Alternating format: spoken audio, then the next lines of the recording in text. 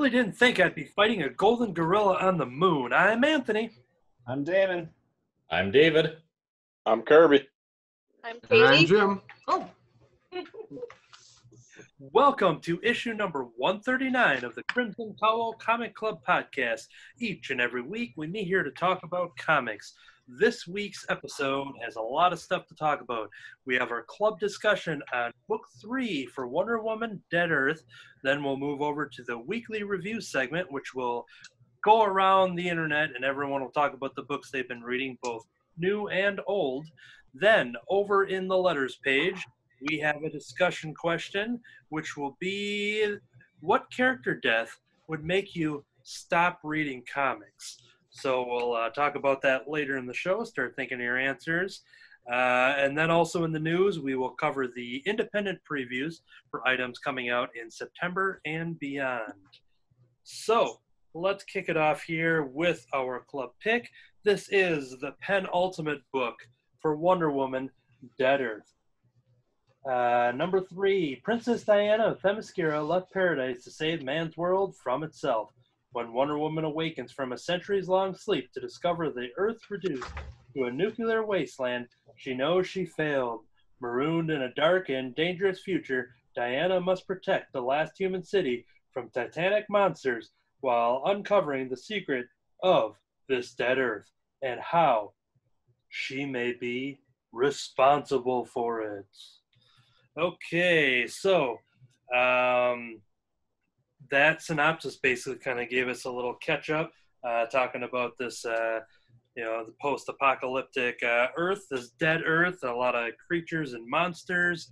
The Amazonians have been mutated into these monsters. Um, we saw Diana wake up and uh, we saw her wearing the having the utility belt of Batman. We see her uh, coming across the cheetah in the last book.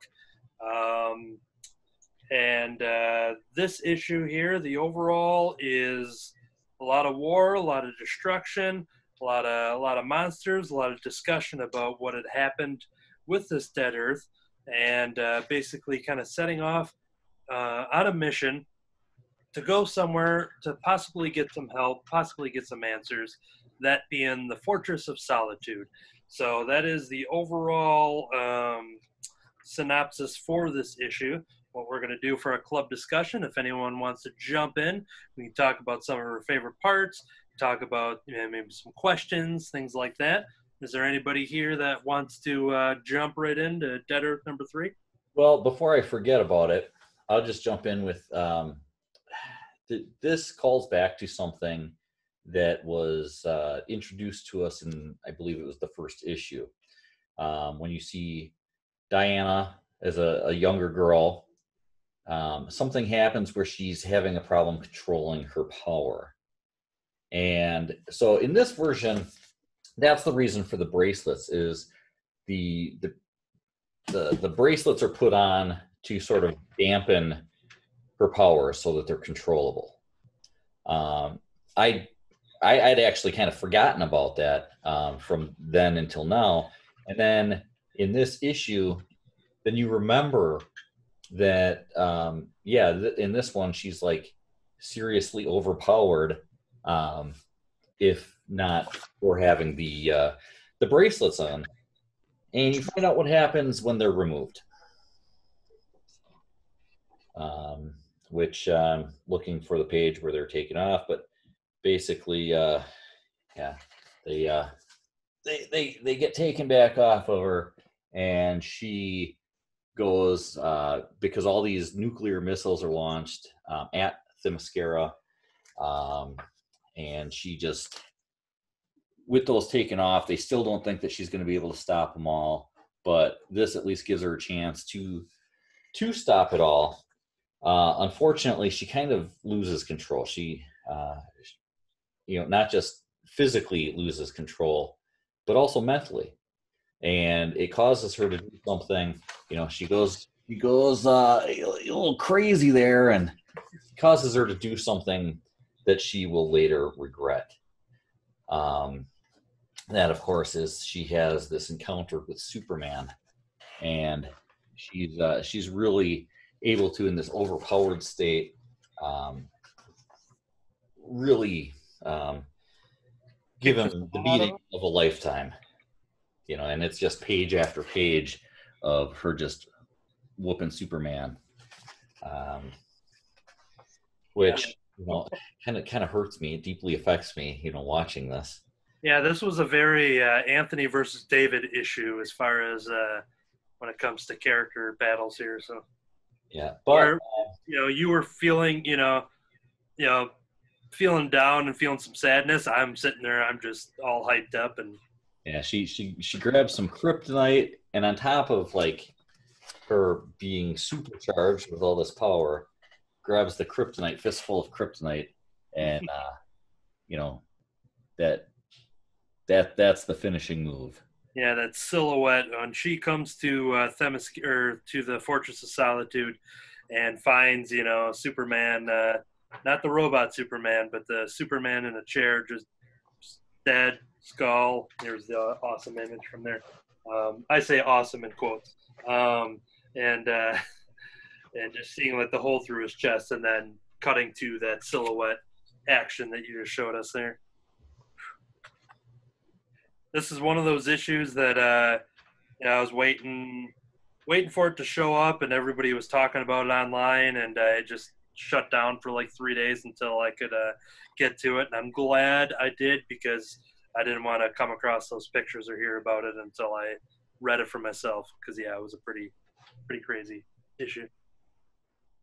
Anybody else have any uh, thoughts, uh, questions, or anything like that for the issue?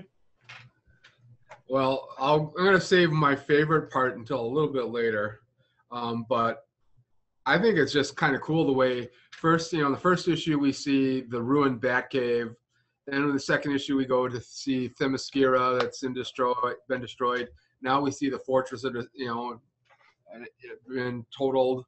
I just wonder what we're going to see next. Are we going to see? Uh, I'm guessing the Hall of Justice, I'm, maybe I'm the predict- Watchtower. I'm predicting it's going to be uh, was it Jitters, the coffee place that Barry Allen and Iris always go to. I bet you it's going to be that. It's going to be just uh, coffee grounds everywhere, and it just uh, Just uh, total mess again. Yeah. napkins, Coffee spilled everywhere. Yeah, just over the you know, the, the the the pots are just overflowing, and they're still running, and You know, I thought, you know, when we first saw her, we I we kind of thought that um, uh, Barbara, uh, the cheetah, was uh, mutated. We find out what here that she wasn't mutated, but that some scientists actually tried some modifications to her and actually attached live cats to her arms instead of hands. So I hate when that happens. yeah. Yeah, so I mean, when she was going through in earlier issues, you don't know what they did to me and everything else. Well, now we know what they did to her, and it's uh, it's a little bit more gruesome than what we thought. Yeah. Um, Anyone else uh, jump in? Uh, Damon? My uh, favorite part, I don't really want to spoil, but let's just say it's the last panel. The last yeah, I, I had a feeling, you know, I I was gonna pull that out. I wanted to give somebody else a chance, and I was thinking that might be what Jim was going. So you wanted to pull that out. Uh, is that Yeah. a reference to anything? No pun intended. You know, I know this is me, but I didn't actually intend to pun that. I think it's uh, neat. I'm gonna go back uh, like three panels from where Damon was, but yeah. Yeah, she used Let's that, uh, she, she uh, looking over Superman's corpse, decides that there is a way that she can use uh, this tragedy to um, to give her an advantage in this upcoming battle. Yeah, it's a scene straight out of Predator. And I kind of took it like when Sarah Connor came out of the insane asylum and went after the Terminator. It's kind of what There you go. I got from this. But I still don't understand the whole Wonder Woman thing and all these different powers and everything. So I just, I don't know. Yeah, I Take- didn't know Wonder Woman could fly. Yeah, sh- I missed the invisible plane, the bracelets, the whip. Well, It's yeah, like- there there have been different versions where she could or couldn't. Um, Oh know, yeah, there's always had the invisible plane was so that she could fly when she couldn't necessarily fly otherwise but even some versions where she could fly she still had the invisible jet because you know i can walk but sometimes i prefer to drive Uh, Katie, do you have a chance to read this one at all? I did. I read it twice. Uh, I really liked this one. Um, this is probably going to be one of my top contenders for series of the year. Like I think it'd be in my top five so far that I really liked. Um, I like that we got some answers and felt like a sense of resolution and purpose as we go towards the final book. Um, you know, definitely is a sad story. I, I can't spin it any other way, but yeah, that last page reveal was nuts. That was so cool and so messed up. I I am kind of sickened, but also excited to see how that's going to go and what they're going to do with that. Uh, it was nice to see Diana reconcile with some of the humans because she had been really mad at them and they were mad at her and very distrustful. So it was good to see that um, you know things are temporarily at least a little better and they understand each other more. So I really liked it. This is good. I I enjoyed it a lot. So nothing but praise. Cool, cool. Yeah, you said you had read it twice, and I'm looking forward to reading it a second time because um, I liked it so much that not only did I get the first cover, but I also got the second cover because Daniel Warren Johnson also did that one, and I really dug that cover. So I uh, double dipped on this issue, and uh, I think if there was an issue to double dip on, I think I picked the right one here. So Yeah, I agree. So, um, something cool about the format. Uh, the first time I read it, I read it digitally, and that was very nice. But I have to tell you, it looks like 10 times better and makes so much more sense in the oversized format. Um, I'm doing a lot of digital issues right now for obvious reasons, but getting to have that big, big copy and see all the art the way it's meant to be laid out really made me appreciate it so much more. That's awesome to hear. Um, one thing that is super cool for those fans of Daniel Warren Johnson, his previous independent series he did, that I uh, spoke uh, very highly of on this podcast many a times, Murder Falcon. On the opening page of book three, you see some people looking up at a uh, at a TV news screen thing going on, uh, Wonder Woman and Superman uh, breaking news. And uh, the guy in the red shirt there is uh, very similar to the guy Jake, who is uh, one of our main characters, aside from Murder Falcon himself. Um, who, yeah, it, it very much looks like him, and he's got the hairstyle, he's got kind of the, the red shirt. And I think Daniel Warren Johnson replied with like a winky face or something when somebody brought that to his attention and just said, "Hey, is this uh, Jake?" And you know, so that's kind of a cool little Easter egg that uh, for Daniel Warren Johnson fans. Cool, cool. Um, yeah. Any other uh, closing thoughts here before we move on at all? um, no I, i'm amazed that nobody showed the the major spoiler but especially since you know we're all we're all about spoilers in this section and i will uh i will stick with that and i will also not reveal it so that uh, people when they watch or listen to this uh, can feel free to go what are they talking about and rush out and buy it Yeah, it's truly like we we could say everything about this book, but it's a whole experience to read it and just visually look at it. Uh, just the fight scene alone between Diana and Superman just is insane, and uh, uh, with Daniel Warren Johnson doing the writing and the art, and then you got uh, Mike Spicer's doing the awesome colors in here, Rus Wooton on letters. Uh, this is the combination. I'm pretty sure all three of them were the ones that had worked on. Uh, uh, Murder Falcon and possibly Extremity as well. So these are three creators that are very familiar with each other's styles and storytelling, and it's definitely very, uh, very uh, on. Uh, I don't know what the word I'm looking for. It's very uh, evident. very It's very, very. Um, but yeah, it's uh, just an awesome, awesome book. So, yeah, if there is no other closing thoughts, we will uh, move on from this one, but we will return. I like Yes. one thing. I, I like how um, the the robot is so very much like Clark Kal El that even though uh, Diana killed the real Kal-El, the robot is still waiting for her and lets her in to come and help. He's open to forgive her right away, you know. Yeah, that was that was a cool moment there, and uh, good. Um, yeah, I think we are expecting what August. I think for the last issue, if there were no other delays. I think it was kind of back on track. So possibly August, we will get our final chapter to the Black Label Wonder Woman Dead Earth. Well, I don't know how closely this is Yeah. done, but it does say October on the back page. Oh, does it? Yeah, it does. question. It was on sale October 2020. Okay, well, disregard everything I just said. Maybe the original was expected in uh, August, and then yeah. All right. Uh, now we got to take it from the top. Well, yeah. Start all over. Remember what you guys all said. So yeah, um, we will see you in October. Uh, we'll have uh, Wonder Woman: Dead Earth, and uh, and then something called uh, uh, X-Ray Robot number three will be. But actually, the review will probably happen in early November. So. So yep, that will do it for our uh, club discussion here for Wonder Woman: Dead Earth. Let's move on over to the weekly reviews. All right.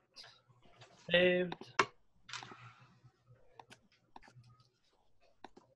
Okay, I'm to jump right into it here. Recording.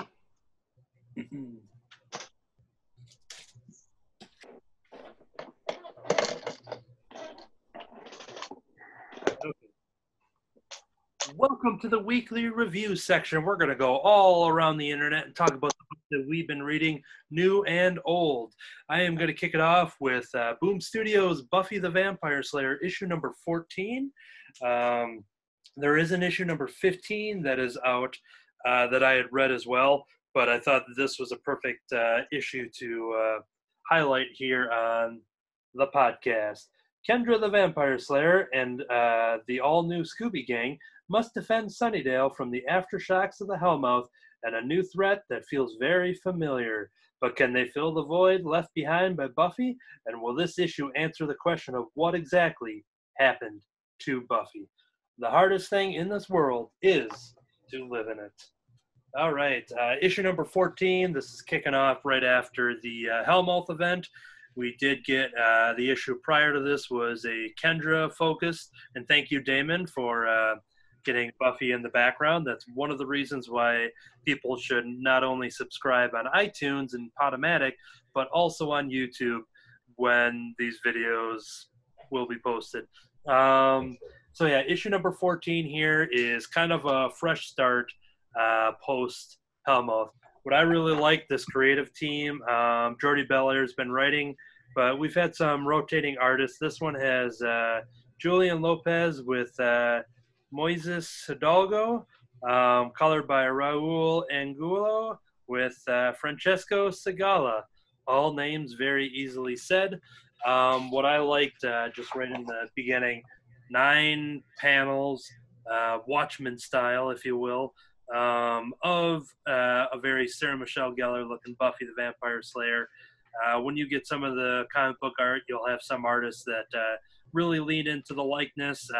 Like this artist, I think was just on for one issue, and it makes sense because you go through it, you see the detail in the likeness, uh, and then you'll see some of the other artists who also have great art for it, but uh, they probably, uh, you know, it's not. Some some artists work a little faster, and especially when you work on this detail. But right off the bat, uh, I thought that artist was doing a great job. Uh, we are seeing uh, Buffy and Robin, who is the now ex-watcher to Kendra, uh, which is a fun little twist because if you've seen the Buffy the Vampire television show, Robin Wood is the character who is uh, an elder uh, principal character in the later uh, in the last season rather, and is the son of one of the former Slayers. And this uh, continuity brings him early into the Buffy high school story, putting him in that younger age bracket. Um, still having him uh, be a connection to the Slayer mythology, but uh, giving a little different uh, touch up to the origin. Um, so you see Giles, who is now handling both Kendra and Buffy, as uh, having two Slayers there. You've got Joyce, Buffy's mom, who is trying to connect with Buffy. Buffy's gone through quite a bit during the Hellmouth event, and there's still some stuff that is uh, kind of reeling from that uh, outcome. Uh, dealing with the the Scooby Gang characters of your Buffy or Buffy, Xander, and Willow. I won't say specifically, but uh, some stuff has happened to Xander and Willow, uh, which is uh, left to the people to read this. Uh, so there's a lot of stuff going on in Buffy's life here. Uh, she's trying to connect with Kendra. She's trying to connect with Robin. She's basically trying to connect with anybody, but she, much like this television series, she's been very standoffish and she holds this uh, her her destiny um, kind of leads her into a very sheltered life. Something that uh, Jenny Calendar, who is Giles's girlfriend, um, kind of brings up in this issue as well is that like Giles, while being the the watcher and the trainer and the teacher, the guide, um, still gets to have a normal life. He gets, you know, he's not in the uh, out there fist fighting and things like that.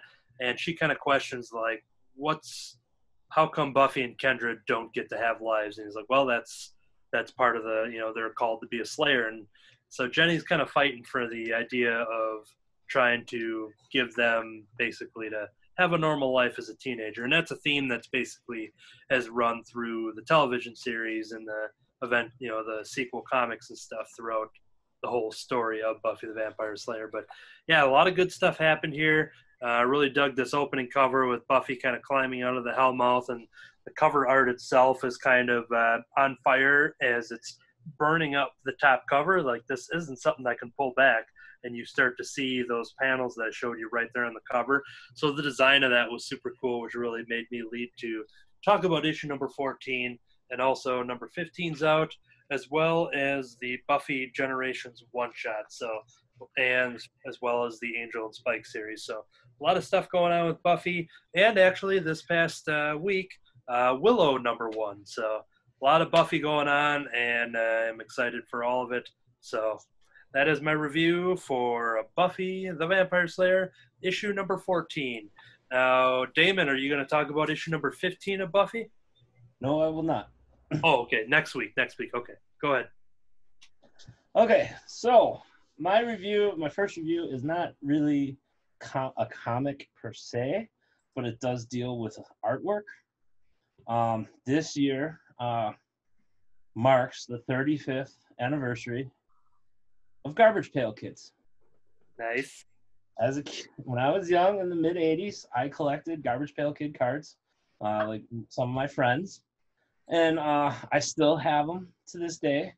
Unfortunately, I can't find them. They're somewhere in my basement, aka storage unit, and I know I lost some in the move, um, which ticks me off. But for 35th anniversary, I had picked up a hardcover book called Garbage Pail Kids. Um, this is covers the first five series of Garbage Pail Kids cards. Um, I have it in a protector, but the actual dust jacket is the same wax paper that the deck of the pack of cards used to come in, and the back even looks folded. So I thought that was cool.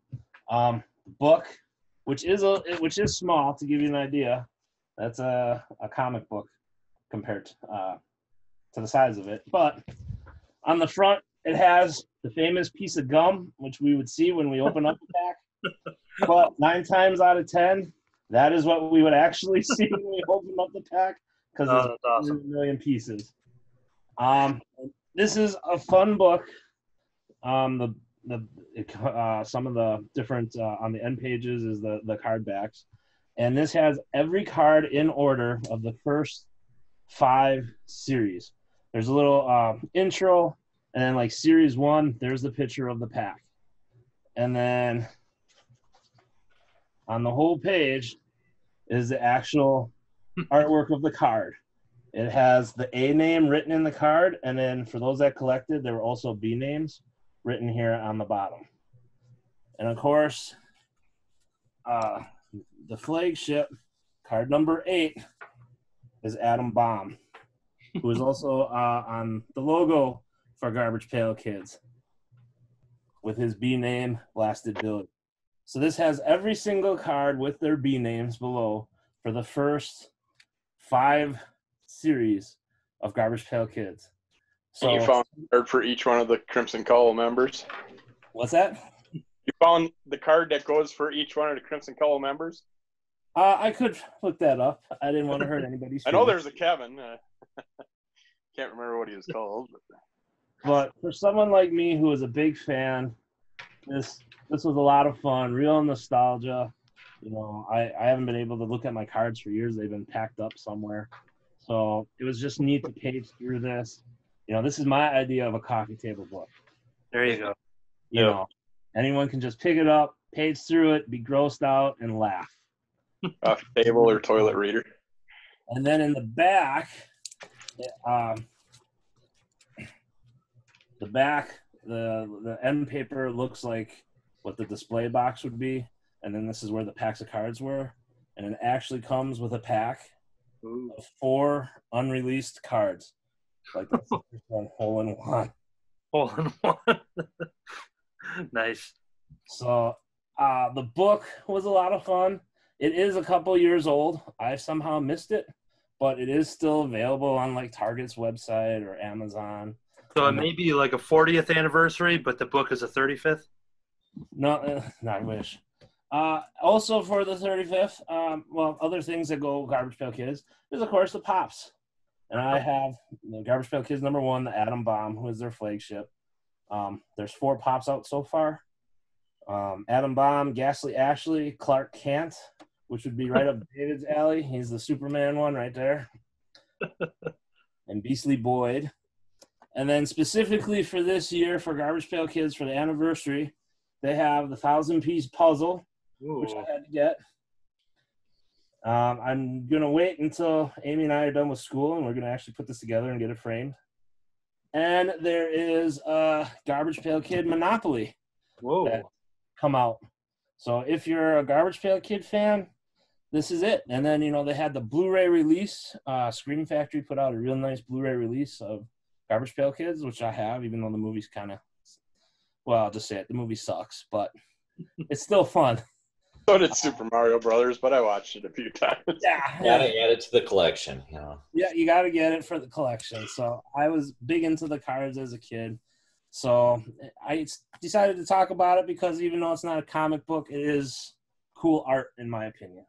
I mean, you can never go wrong with Garbage Pail Kids.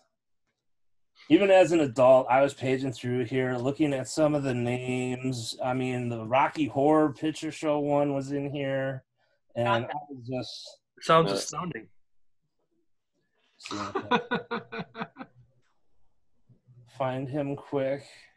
There he was.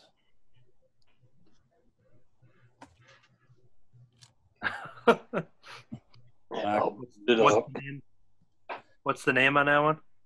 Rocky Horror. Nice.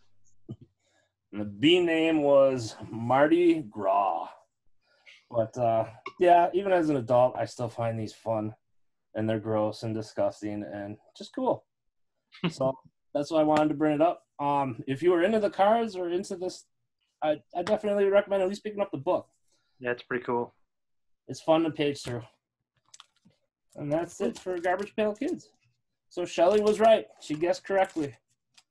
Yay.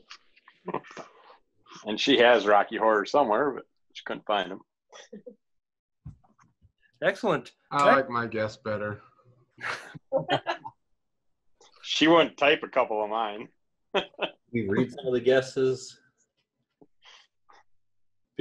because what you did is that you just put uh, GPK Yeah, um, GPK. messages on our on our Facebook page, and so there were guesses as to what that stood for. And Yeah, I thought it'd be fun to keep people guessing. All right. Well, let's see what uh, David's title stands for on his pick here to keep us guessing. actually, it's Oh. funny because there is a comment on you know be, ca- being careful how you abbreviate this. I believe Superman actually tells these guys to be careful how they abbreviate the name. Talking about the All Star Squadron. And uh, yeah, I think uh, I read the first three issues here. It's the first storyline in the book, um, and uh, as, it, as it's wrapping up, I do believe. Yes. Uh, t- t- t- yep. Here it is. Talking about how it's a pretty snazzy name, but be careful how you abbreviate it. Um, I gotta pin your video. I can't. Uh, uh,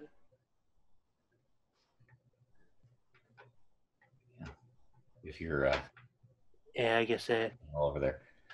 Um, Take the first letter of each word, Anthony. You can guess what it says. all are Um, squadron.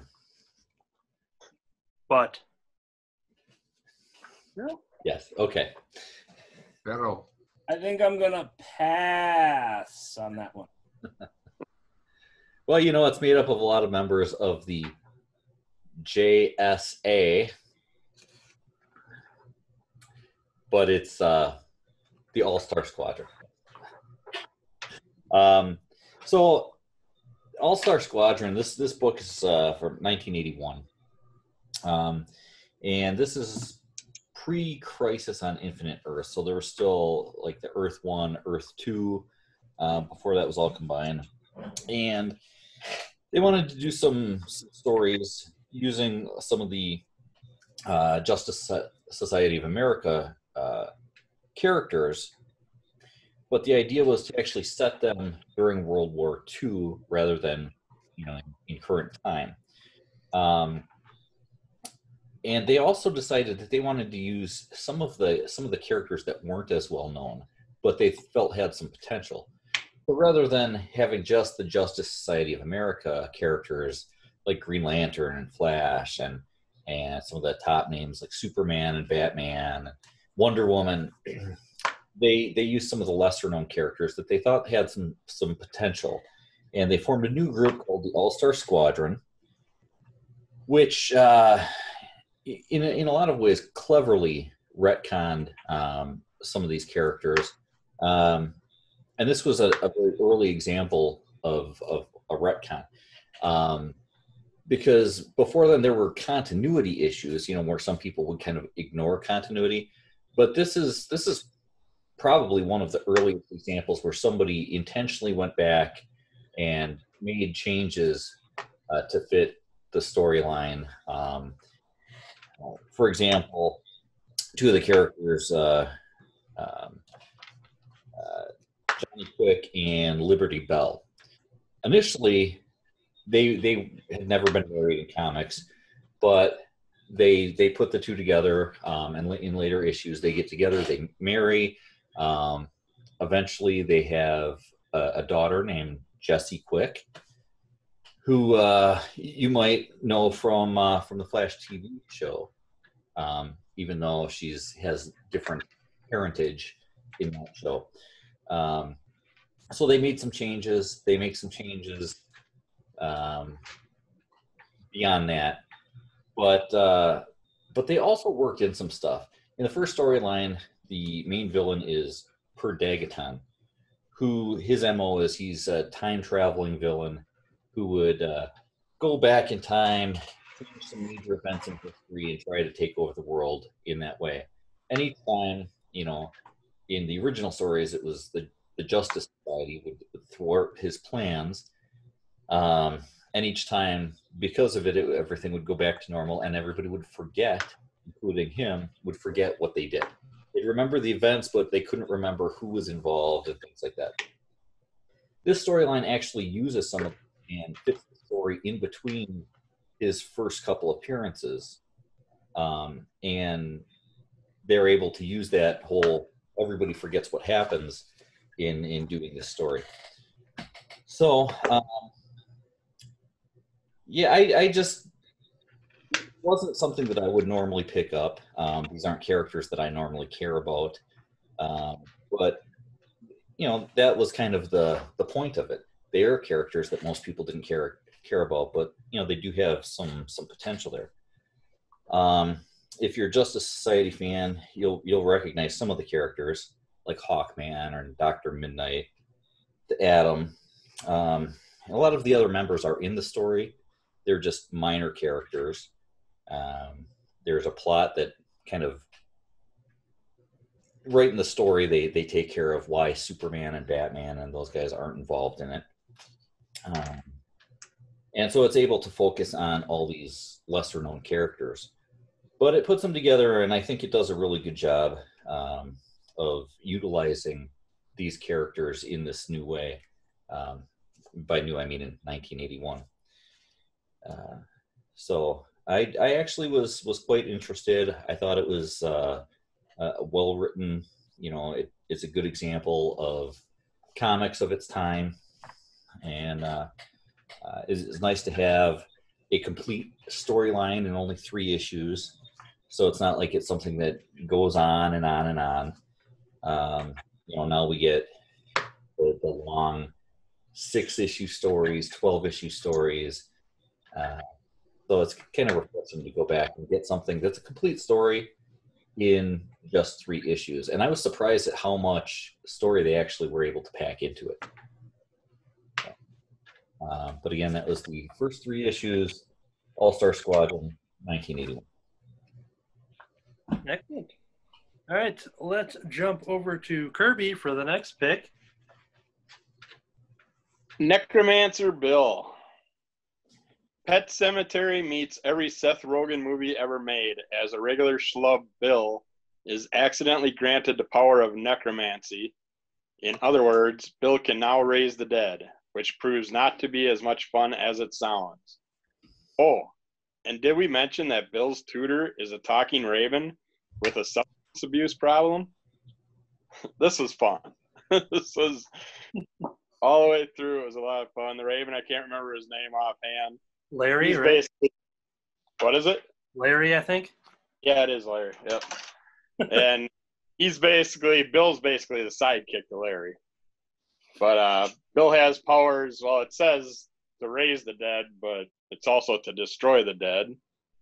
So uh, he accidentally raises few too many dead the first chance that he tries. Has to fix that error, but apparently, someone that was trained with the same name as Bill was being given the powers, and when he was given the powers, it went to this Bill instead of the one with the same name that they were training. The the crows got himself into a bunch of trouble. Used to be a human, I'm assuming, and he got turned into a crow for punishment. And then he was supposed to overwatch on Bill, and then decided to help train Bill and see what could happen, see if he get it could get on the good graces. Yeah, there's tons of excitement beyond that. Lots of fun in here. Yeah, what do you else read this? Larry's got the two little like mouse and rat buddies there who are uh, kind of Oh, fun yeah. the book as well. You know, sitting there drinking some beer and yeah, it's uh, a lot of fun. Uh, a story about uh, Bill, who his lifestyle as we meet him, he is a he's a divorcee. He loves to garden. He's got his own garden. His ex-wife uh, in the opening scenes uh, we could see that she still controls him, even though she's got a new guy, and uh, they have a boat that they had bought together. And she comes in and demands the key for it, and he very willingly gives up the key.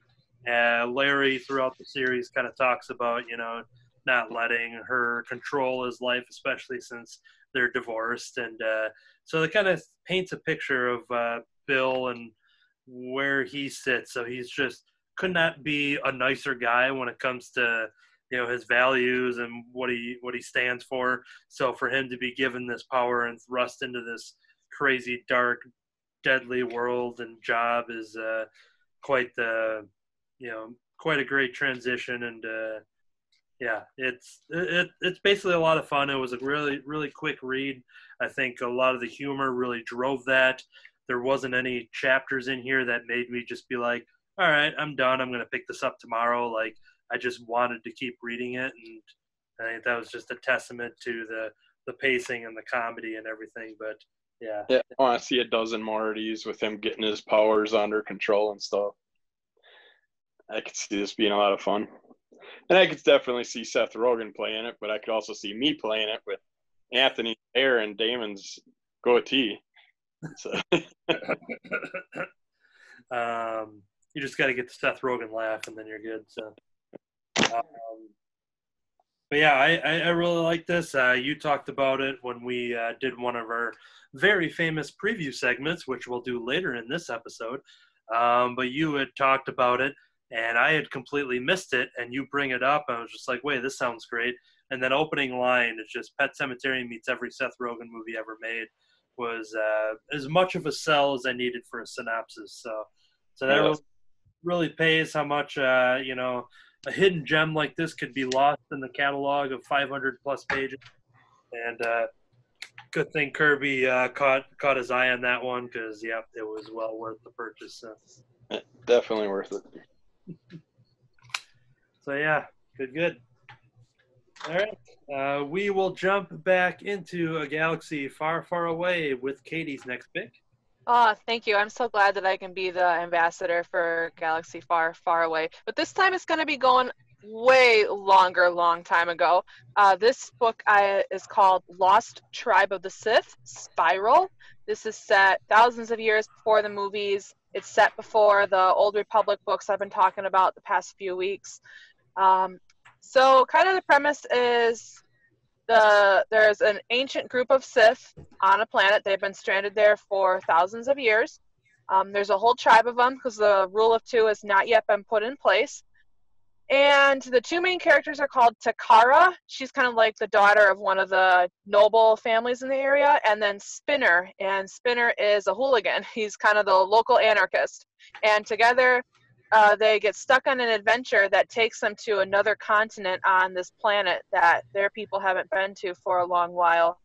And while they're there, they uh, unleash an ancient Sith Lord who has been kind of stuck in an artifact, I guess, in suspended animation. And because, you know, he's a Sith Lord and he's really bitter about his imprisonment, he uh, tries to immediately take over the continent. And we'll see how that gets thwarted or not. Um, so something cool about this book is that there were dragons, which automatically makes me happy. Uh, they're called Sith Leviathan in this universe, but great big animals that have magic powers and can sort of fly. Uh, there's creatures called Uvak, which are uh, look a little bit more like European style dragons, and they have wings and people can ride them. So I've really appreciated that. Uh, love me some dragons. That's a great way to sell me a book. So another nice, uh, well not nice, but interesting fact about this book is that they don't have spaceships. They are not a starfaring society at this point. There's only been one spaceship in the history of this planet, and it has been hidden away for a long time. And that's important to know for this book.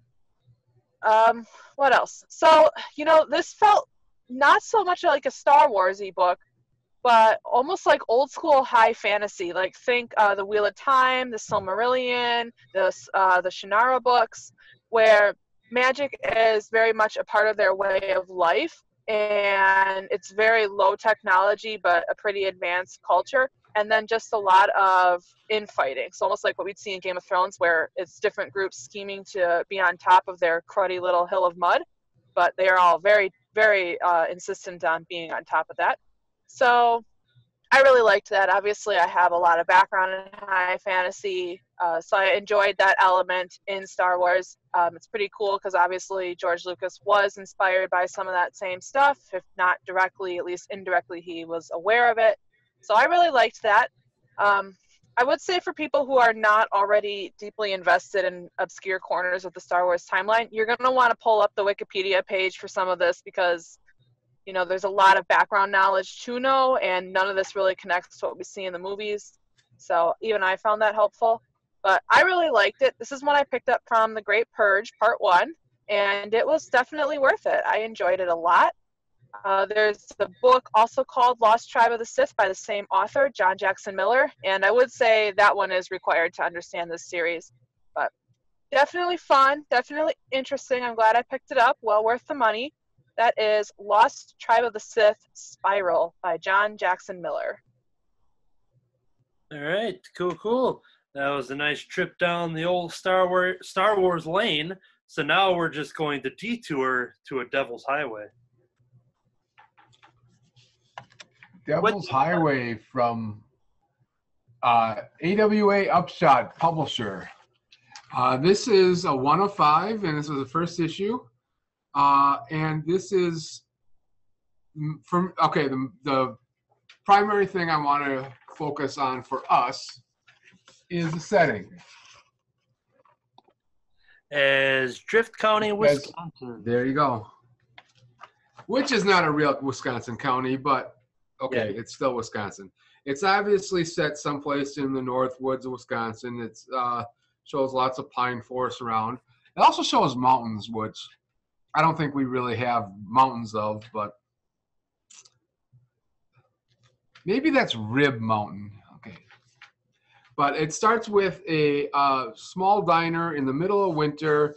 Um, it's apparently right before Christmas. An old man's asking the cook what you're doing for the holidays, and you're welcome to come over. And he says, No, that's okay, because Sharon's coming home.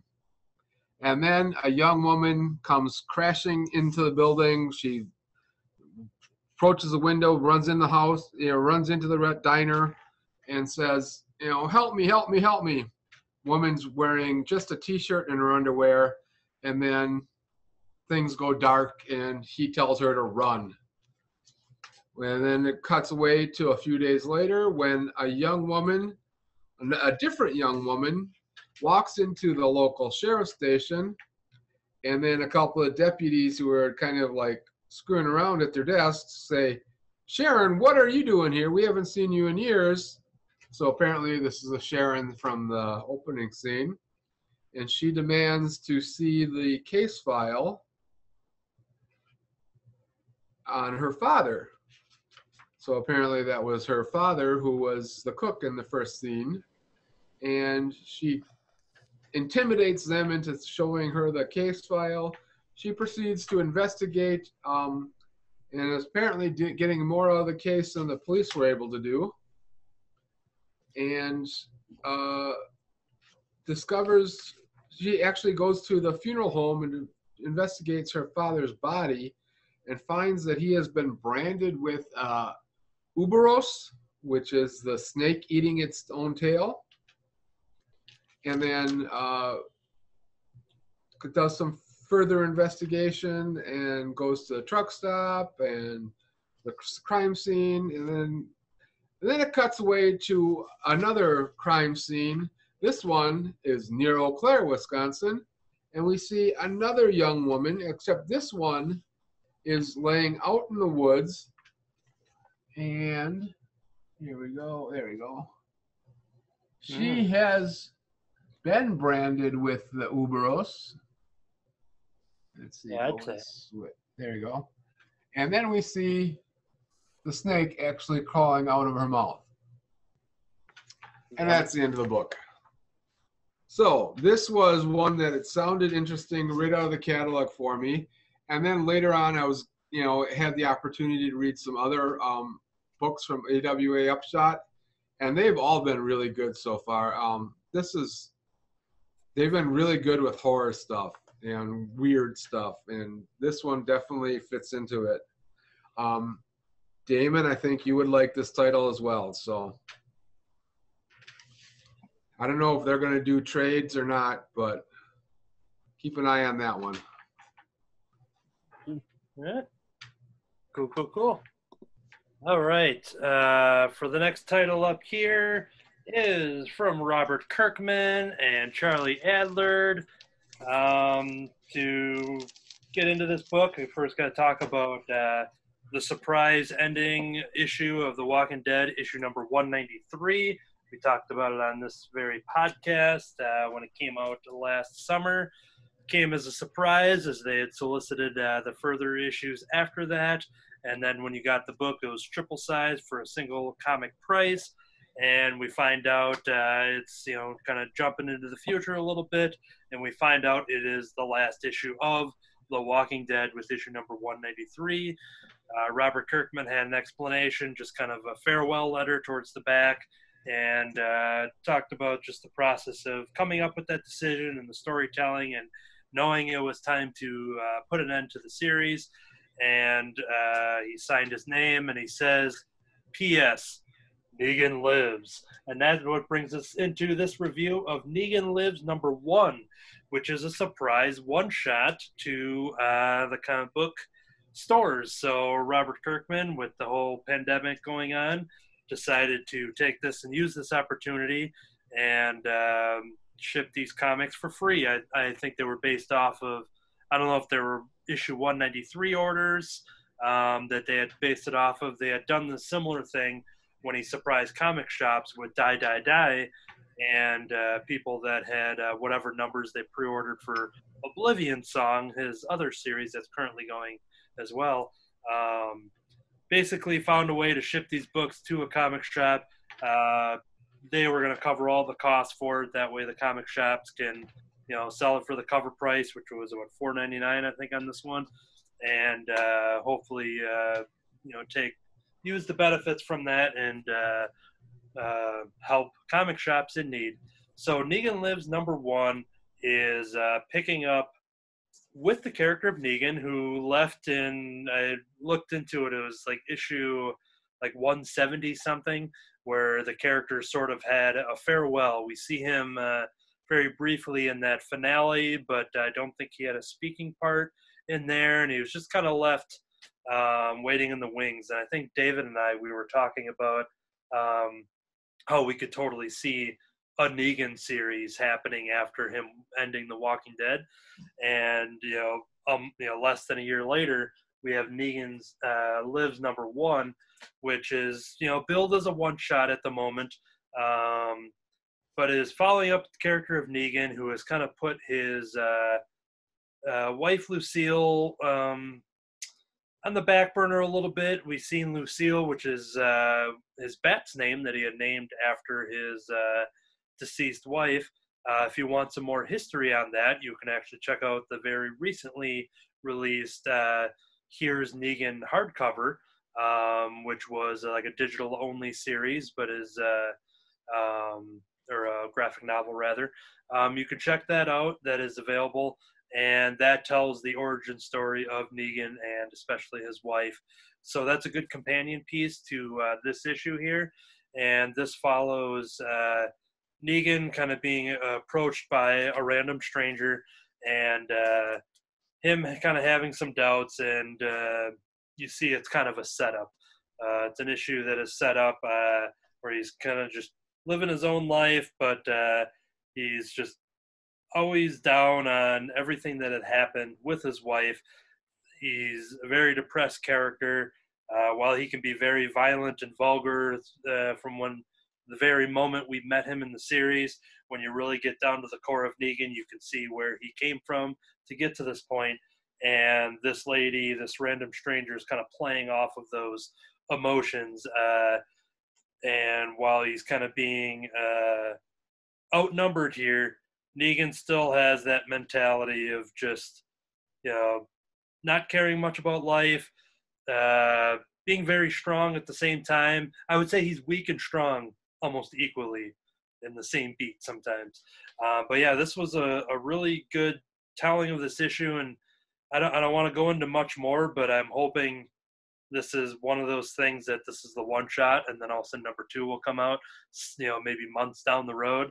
Um, yeah, don't you want to see what happens next? Uh, I would like to see, because as David and I talked about, we kind of said, yeah, we could see a Negan series happening, and I'd be, I would be all over that. So it was pretty cool to kind of get this one shot here.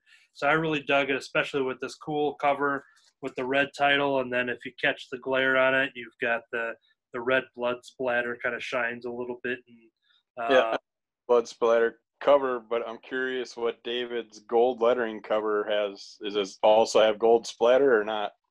It's red. Oh, okay. Oh, but the actual because right now it looks like the the lettering is yellow. Is that are we seeing that Lettering wrong? gold.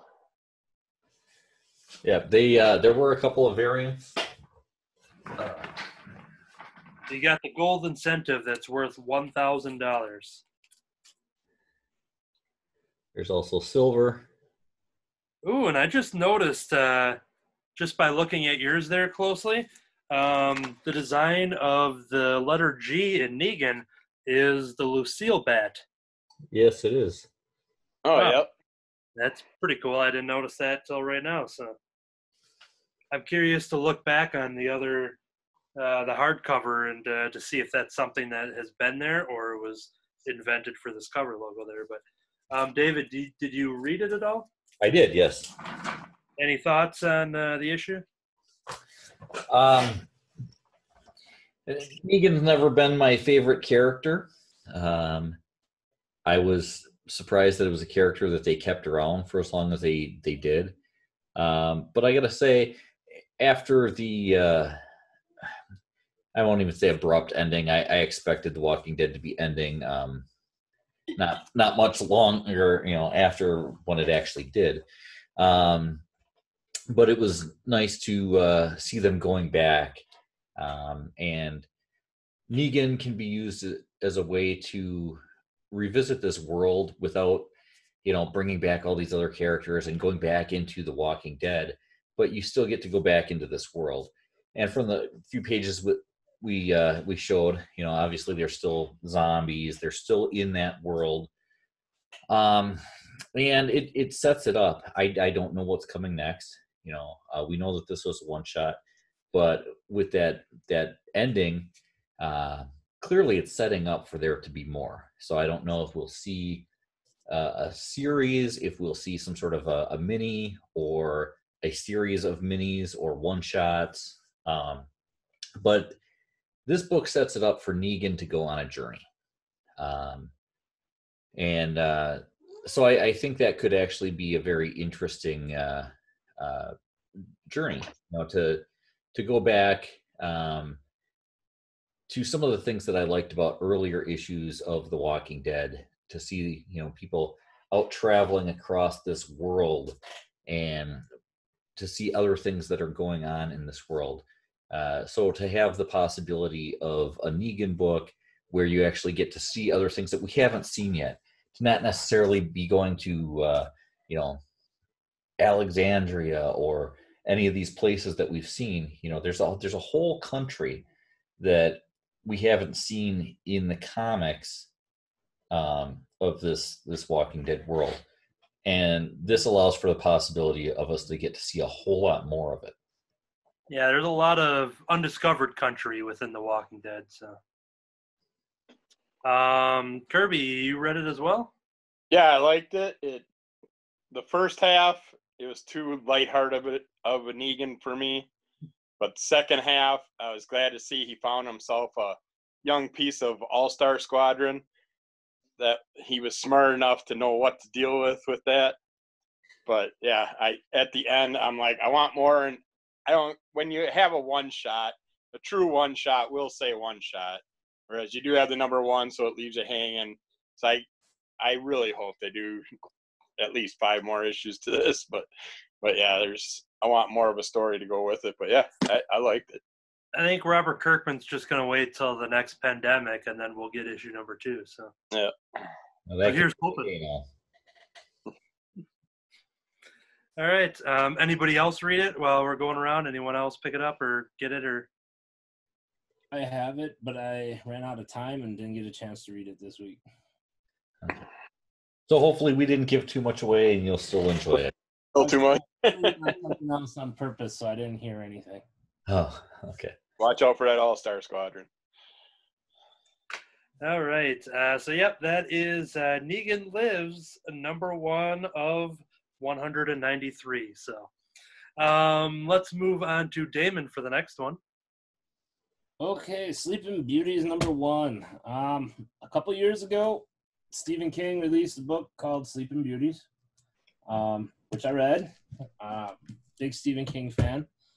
Um, book was good, but like so many of his books, especially in the later half of his career, the book is great. The ending sucks. Um, this one, the ending was all right, but overall, it, it, it meant to a good book. I don't remember a lot of little details because it's been a couple years since I read it, but they started the comic book series uh, sorry about that. Yuri wants uh, to review it. Yeah, Siri wants to get in on it. You know, it, the story is written by Stephen and his son Owen, and the comic book series um, is based on the novel. It's adapted by Rio Youers art is Alison Sampson. I haven't really heard any of these names, but I thought it'd be interesting to see the comic book adaptation and see where it goes. Um, some things are a little different, but for the most part, um, there's a bizarre sleeping sickness that has fallen all over the world. Kind of similar to what's going on now. It started in Australia, hit our west coast, and started crossing the whole country. Um, however, in this story, it only affects women. Sorry, Katie, but the rest of us, hey. Um, and the, this takes place in the small town of Dooling, where on the outskirts is a woman's prison. So you could see where that might be some trouble. And um, basically, what the sleeping sickness does is when a woman goes to sleep, she never wakes up. She stays in like a comatose state. And this like mysterious, you could call it webbing, or like here on this bottom picture, you can see it starting to kind of form. The best way to kind of describe it would be like the strands, if you ever saw like the uh, Invasion of the Body Snatchers kind of overtake her, and what you end up with is she's like cocooned, but she's still alive. And the problem is, if you try to wake them, they become very, uh, they're unconscious. They don't know what they're doing, but they'll attack and kill whoever's disturbed them. And then when the threat is dead, they go back into their comatose state, and this webbing encapsulates them again. This first uh, issue tells the tale of this mysterious woman who walks out of the woods. She is naked, but you don't see anything. Um, she walks out of the woods, kills a couple of druggies in their trailer, and that's the start of the uh, badness that happens in this town. The sheriff is a woman who's coming off of a late shift, so she's already exhausted. She has to respond to these murders and finds the woman uh, walking the street along the way. Her plan is to take her to the prison, um, and that's as far as we kind of get. The sleeping sickness is starting to overtake the town, and the bad things are starting to happen. The art is kind of different. Like here's like an action page with some shooting and and, and blood. Um, and just to give you an idea of the art, it's kind of different, but it's setting it up. I believe this is going to be a 10 issue run. So they're going to try to do that big of a book and 10 little issues. So obviously a lot's going to be cut out and the story's going to be changed because it's going to be an adaptation. So Maybe it's a better ending. I'm hoping it's probably a better ending. Um, this ending was okay. It's not like some of his other books. Like I pretty much have his whole collection, and there are some books that the ending just oh, like uh, the worst case is uh, Under the Dome, which they actually made into a TV series. That book is like 1,600 pages. It's huge. It's probably the thickest book I've ever read, and the book was great. The last hundred pages, turd fest. um, ruined the whole book. But Good thing they were under the dome when the yeah, yeah. I mean, and, and then the series is completely different. I mean, everything was. Don't even get me started on that. But anyways, back to Sleeping Beauties. Um, they don't give you a lot in this first issue, so it's hard for me to judge where it's going to go. I know I have my memories of the book, and as you can imagine, with all the women unconscious, you could just imagine what would happen. You know, people panic, they start burning bodies, some try to rape. It's it's just a big mess, and I'm interested to see how they're going to translate all that into the comic book format. So um, can't really give an opinion yet. The first issue is really just it doesn't give you too much. Um, it just starts to get going on the last page. So I have the other couple next couple of uh, issues coming, so I'll be able to give a better opinion then. But it is Stephen King, so it might be a good take. And if you haven't read the book or don't have time to read the big book, and if the story's interesting, this might be the way to go. Okay. All right, let's jump over to Kirby for the next one. All right, I bought Strikeforce number six, I believe it was a while back, because Deadpool does a Monster Island thing. I wanted to know more about the rest of Strikeforce, and I found at the comic book purge, I found issue one through three. I'm going to read some of the synopsis from the second one here. Mission report. Back during the War of the Realms, All Mother Freya destroyed a corrupted rainbow bridge called the Black Bifrost, unknowingly releasing hordes of plant based shapeshifters called Bright Eye. Spreading across Earth, the Bright Eye have secretly been gathering resources, but they showed their hand when they kidnapped a seemingly random group of heroes and used their forms to steal a batch of deadly diseases. The Avengers caught the rogue heroes, and when Blade recognized the signs from a previous encounter he'd had with the Bright Eye in Berlin, he took the lead, asking the other Avengers to steer clear. Knowing of the Bright Eye is itself a poison, one he's determined to keep from spreading. Tracking the Bright Eye to Indonesia, Blade's makeshift team confronted the shapeshifters ruler, Count Ophidian, but they didn't anticipate the appearance of Daimon Hellstrom. Characters in here that are part of the team, well, Blade's the lead of the team. Angela, Spectrum, the Winter Soldier, Bucky, Spider Woman, Wiccan, and Daimon Hellstrom. It's a fun group of people. I never read any Strikeforce before.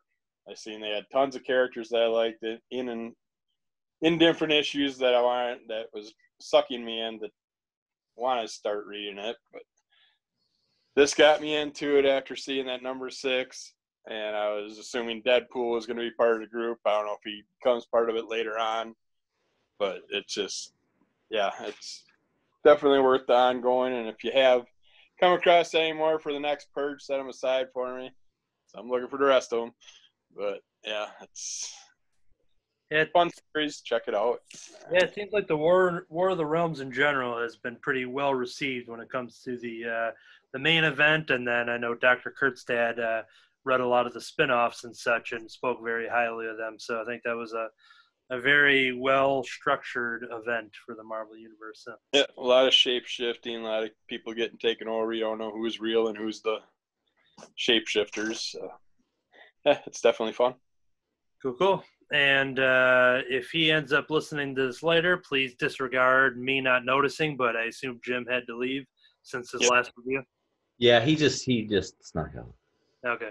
Because yeah, Uh, you they all switch around with pin videos and stuff, and then next thing I noticed, he was gone. Yeah, I Okay. had it on the speaker view, so I didn't see right away too. And then I went, wait a minute. Somebody's- Nope. See you later, Jim. We hardly knew ye. Um, we're gonna talk about Sabrina, uh, the Teenage Witch. This is part of the Something Wicked number one. This is the uh, volume two of the critically acclaimed Sabrina Teenage Witch series by Kelly Thompson and Veronica and Andy Fish. Sabrina saved the day, saved her friends, her family, the whole town of Greendale, really, and she should be riding high. But things are never quite that simple. She's trapped in a love triangle. She's having trouble balancing the mortal and witch parts of herself. Oh, yeah, and she's being blackmailed. As if that wasn't enough, while trying to help Radka and Ren with their supernatural problem, her aunts are suddenly people she can't trust. What a teen! Uh, what's a teen witch to do? Um, this creative team I was super excited for. I was going to buy the book uh, regardless, but uh, once they put uh, Kelly Thompson on there, one of my favorite writers of the last couple years, and then Veronica and Andy Fish, awesome artists. Um, they're telling a great story here. I think it kind of balances uh, halfway between the world of uh, uh, where Sabrina, the character, lies in all of pop culture. It's not super, you know, kitty and goofy and cartoony. It's not super dark and gritty, uh, whatever. It's a perfect balance right in the middle of both of those things. So it has the flavors, has some fun of a Melissa Joan Hart esque uh, Sabrina, and then it does bring in uh, here and there some of the darkness of the chilling adventures of Sabrina as well. So it's just a great balance all around. This is a new number one, but this is a volume two of this story. I think it does really serve as a good jumping on point if you missed out on the first one. Uh, but yeah, Sabrina is dealing with the idea that she uh, has these two lifestyles the witch lifestyle and trying to have a normal high school life as well. Some characters we met in the last volume um, have this uh, supernatural ability of turning into this Wendigo character. So we're still dealing with the ramifications of that. Uh, we have Sabrina that is kind of dealing with uh, the love triangle that it said in the premise there with uh, Harvey Kinkle and Ren. Um, but there's a cool scene in here which uh, she goes to this uh, Christmas store, and it's I guess I would have to look back to see what kind of month we're in. Anyways, I don't. It might be just one of those you know year-round Christmas stores, but there's something that is special about this. July. Yeah. Um, something special about this Christmas store, as it's kind of a secret uh, hideaway for some uh, some witch activities. So it, it's kind of a new little venue that is being placed in here. As the synopsis said as well, is that uh, there's some stuff going on with Hilda and Zelda that is going to leave Sabrina to not trust her uh, aunts uh, that much leading into this volume. But yeah, I was super excited to have this back. Um, a lot of fun. Uh, once again, I think it serves very well as its uh, standalone volume. So if you weren't able to seek it out or don't want to rush around to try to find it, and you have this one there, this could be a good jumping on point. But I think the creator's doing a good job in telling, once again, bringing both versions Sabrina and meshing them together into its own type of thing. So, best of both worlds, as Hannah Montana once said. Um, that will do it for Sabrina the Teenage Witch. Something Wicked, number one. And let me just go back to the list here. All right, then uh, let's jump over to Damon. This is Undiscovered Country number six. Um, been waiting for this one. Finally got it. This is the last issue in the first story arc. Anthony, have you read this one? I know you've been following this. I have it on an order that's showing up because there was that missed uh, order delivery. So mine is uh, mine is waiting to show up yet. So feel free to. I'm pretty good with just kind of drowning out things too. So say what you want. Well, I, I I'll keep it kind of spoiler free, but the nice thing with this book is it gives a two page. Um, this is a almost a double issue size. Um, it gives a nice two page synopsis of the story so far. Cool. So I must admit, just reading it in words though, it kind of leaves a little to be desired. You really should read the first five issues to really get the impact. But this picks up right where issue five left off with the chase. Destiny Man is chasing our group of heroes. Um, there's two battles going on.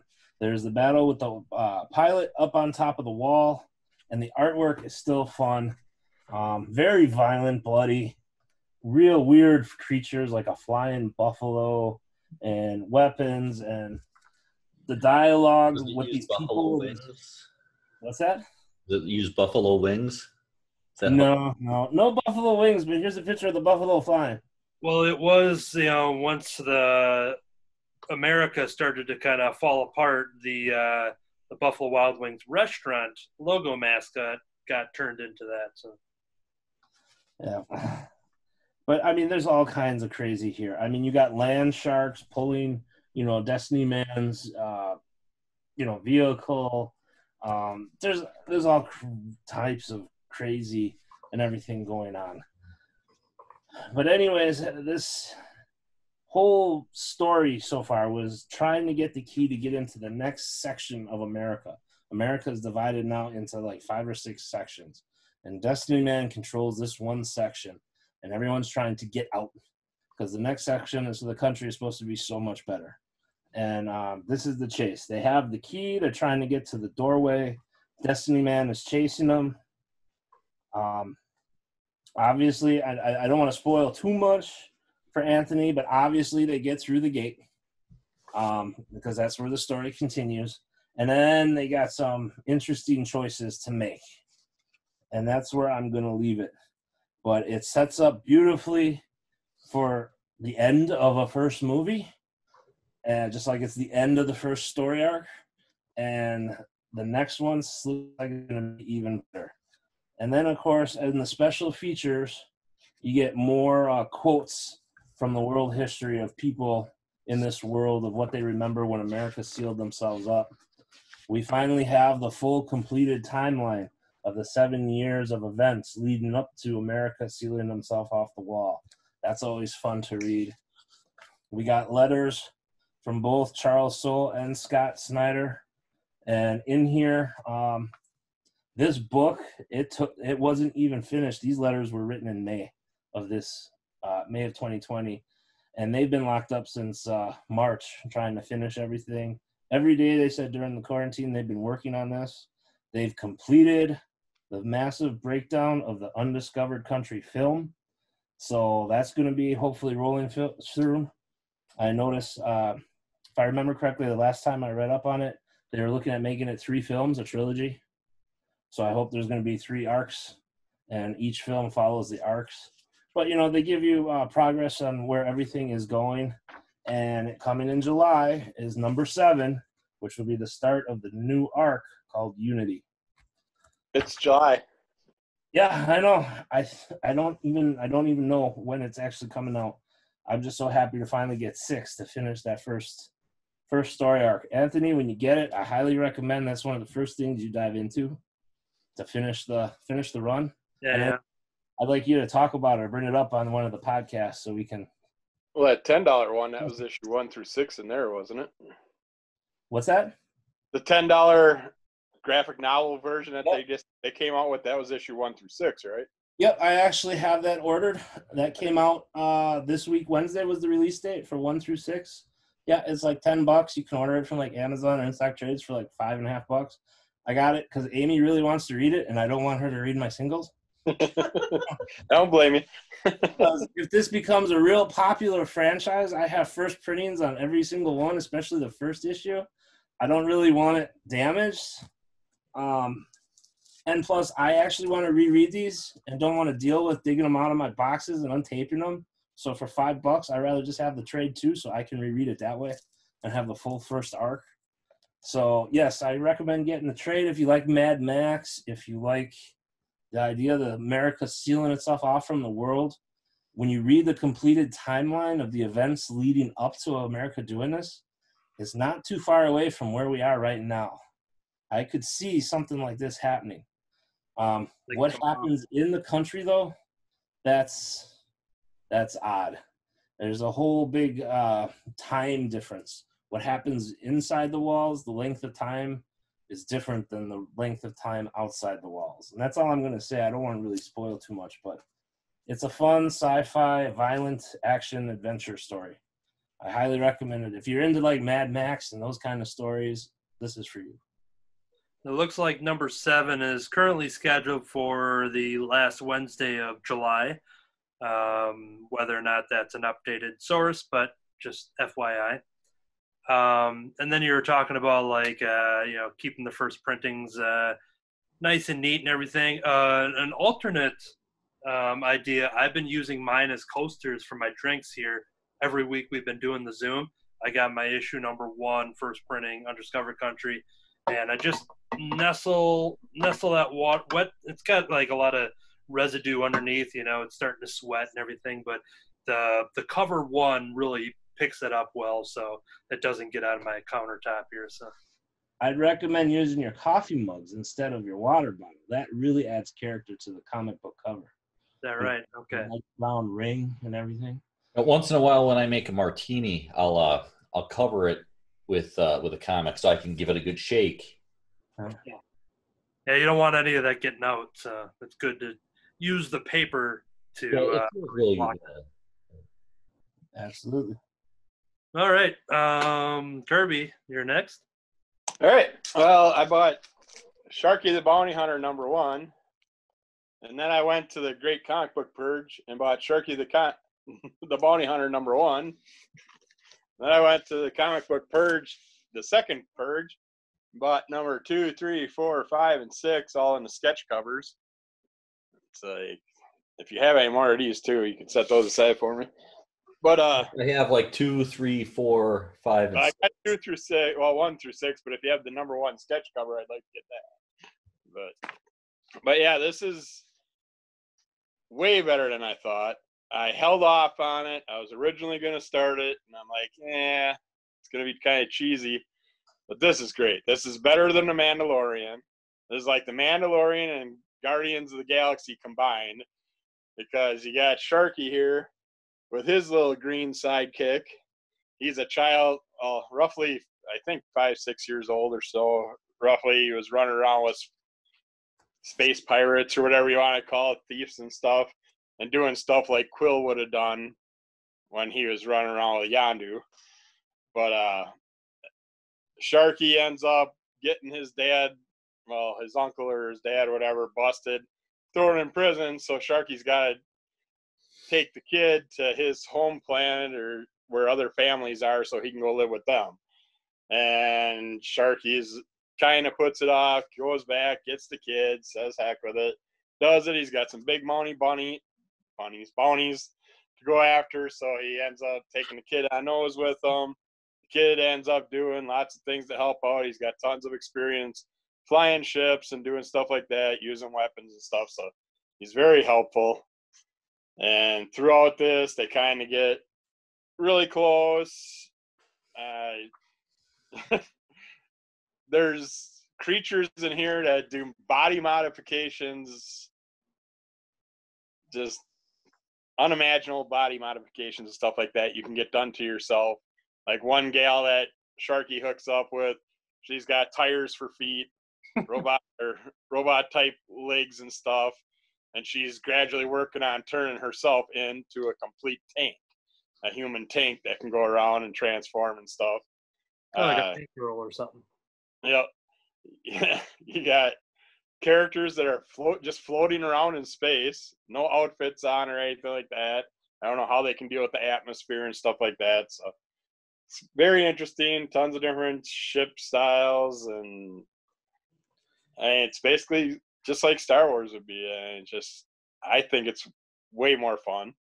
And I basically ate these last five issues up in no time. I just went right through them and I just want more and more and more of that. It's just it's very fun. Yeah, yeah. for anyone- Go ahead. I was just gonna say if you do like the Mandalorian or Guardians of the Galaxy, it's definitely something you'd enjoy. Yeah, uh, for anyone following, uh, as part of the the Millarworld, Mark Millar, who uh, struck that Netflix deal a couple years back, they are in development of like anything like the Magic Order. This there's there's so many things. Some Jupiter Circle, some older stuff from Millarworld is all being made into televisions and uh, television shows and movies. Sharkey is being one of those as well. So, uh, um, American Jesus was another one. Not sure what the order of everything's going to be, but it sounds like the Jupiter's Legacy and Jupiter's Circle, that superhero tale, super awesome. A lot of great uh, actors casted for that one. I think they're really going to surprise a lot of people. And Netflix in a post Marvel uh, world of not having like the Defender seasons and all that kind of stuff. Um, it's comics like this that I think is really going to catch a lot of attention, and there's a lot of great stories. So plenty of time to catch up on those comics. What's that? You could go so far with this uh, Yeah. movies and series. And the the only downfall to some of this stuff, Mark Millar, even though he finds awesome artists uh, working on all these different series, he does do a lot. So when it comes to getting a second volume of some of these miniseries, it's a lot uh, fewer and far between um, because he's just balancing so many plates and working on this. But uh, so hopefully we will get some more Sharkey uh, maybe in time for when the show or movie comes out too. But yeah, good stuff. Yep. All right, um, and I think you're taking us home with the rest because Jim had a couple more. It was going to work out perfectly, but now you're left to uh, entertain the masses. I can pump this out pretty quick. So I survived the zombie apocalypse, and all I got was this podcast. This is a small graphic novel, very fun. Mara Mitchell, gardener, podcaster, zombie apocalypse survivor. In a lonely compound in the midst of a zombie apocalypse, one girl remains unchanged. A slight garden mishap calls for a supply run to the outside, where she makes a life changing discovery. The zombies only eat males. Now, Mara Mitchell is on a mission to make friends with the undead or kill them all. She finds this out. They only eat this male in front of her and walk, leaves her alone, doesn't attack her. And she decides that she's to try and make friends with the zombies, and they start pointing at her and saying stuff like, nerd, and ugly.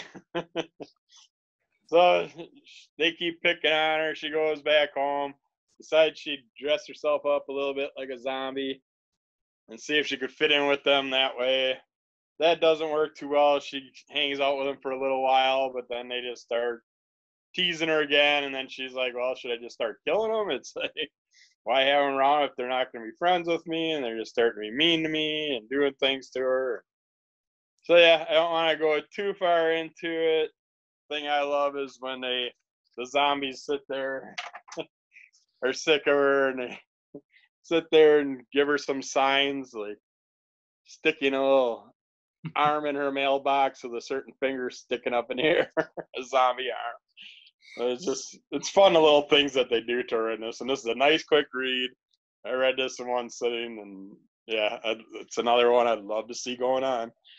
I'd love to see what happens to her in the future. I she does put signs out all over, hoping that someone will find her. And at the end, she kind of like decides to leave this place for a while and go searching for other stuff. And then you may or may not see someone or someone others show up that just before she leaves and stuff. So, but yeah, if you like zombies, it's definitely a fun one for you. And then I bought this because of the cover. It's Howard the Duck number one. It's got Man Thing on the cover, but sadly, Man Thing's not in here. But this was fun. Typical Howard the Duck in jail because he's trying to do stuff, doing his private detective stuff. Gets himself thrown in jail all the time for things, and he meets uh, the male part of the prison. There is I forgot what was going on, but so he had to go sit with the females, and he hooks up with a friend. She's a female tattooist, and they end up being friendly and he ends up having a quest to find an amulet that the black black cat stole i believe and she ends up giving him some information because she lives near where the black cat lives and he hooks up with spider-man for a while looking for some information spidey helps him out a little bit it's a it's fun ongoing thing. I bought this in number four because of the covers. I was about to read number four, and I'm like, no way. I gotta buy two and three. There's just no choice because at the end you just happen to see someone pop up in there that mm. I I gotta gotta know what's all going on with it. So and that's the Chip Zdarsky, Joe Quinones series, I believe, creator team. Uh, probably. That's gonna be a variant cover, so I didn't recognize the cover at all. But uh, just to kind of, yeah, yeah, good stuff. They did two different volumes. They fell victim to the Marvel Now and all new Marvel Now, so they had like two number ones in the same year, but it was the same creative team. So when, when you seek out those other issues, just know that there's going to be some, you know, two very short mini series, and there's some double numberings in there. So Okay. Yeah. Watch those volume numbers. Uh. Yeah, and then uh, I like the synopsis of this. I had to check out. It's issue number double zero. It's Obey Me. It's about a lady that's she's an assassin type, and there's a Doberman that's basically like a hellhound, and he speaks. And so she hooks up with him, he helps he can see everything see where the demons are helps her find everything and even helps bring her things when she needs them like an assassin's head. Wow. Like, Good this is such a fun story I, I don't know where it's going i don't know what's going to happen they don't give you enough of what she is because this is a double zero so they like to just play with you with the zero and a half issues. But she's she's a bad at bad. uh, but uh, if you like anything with actions, demons, you'll like this. It's definitely fun. Obey me. And then we got Katrina. It's a vampire one. I decided to check out. And it goes back to Hurricane Katrina. And this gal's a cop. And her mother's all worried about it. They're trying to get everybody out of the city. And she's saying things that shouldn't leave. Daughter feels the same way. Other people feel the same way. So they get everybody they can out, get them to the stadium and stuff like that. And then she starts doing some searching. There's some unknown forces that are found and out and about that are going to be introducing us to more vampiric stuff, which I'm can't wait for episode issue two. But this one definitely doesn't go deep enough to tell you anything that's really going to happen. It mainly focuses on the hurricane coming and what getting everybody out for right now. But yeah, it's if you like vampires, interesting new take, something to check out. Well, not really new because New Orleans, but I'm hoping there's going to be some new style in there. Oh yeah, Army of Darkness. Ash gets hitched. This basically takes place right after Army of Darkness, I'm guessing, because it's still got the same people in it, different generals and stuff are there. They got the red beard and stuff, Henry, and uh, they're he's met up with a woman, decided that he's gonna stay, and they're gonna get married. And of course, everything goes bad, and there's deadites popping and stuff. The two armies call are called to come to to them, and they just get slaughtered by these uh, deadites, and it's just your typical Army of Darkness thing. But of course, it's issue number one, so I'm waiting for more information on the wedding and everything. So I'm gonna have to buy more of those. And this one I bought because of the cover.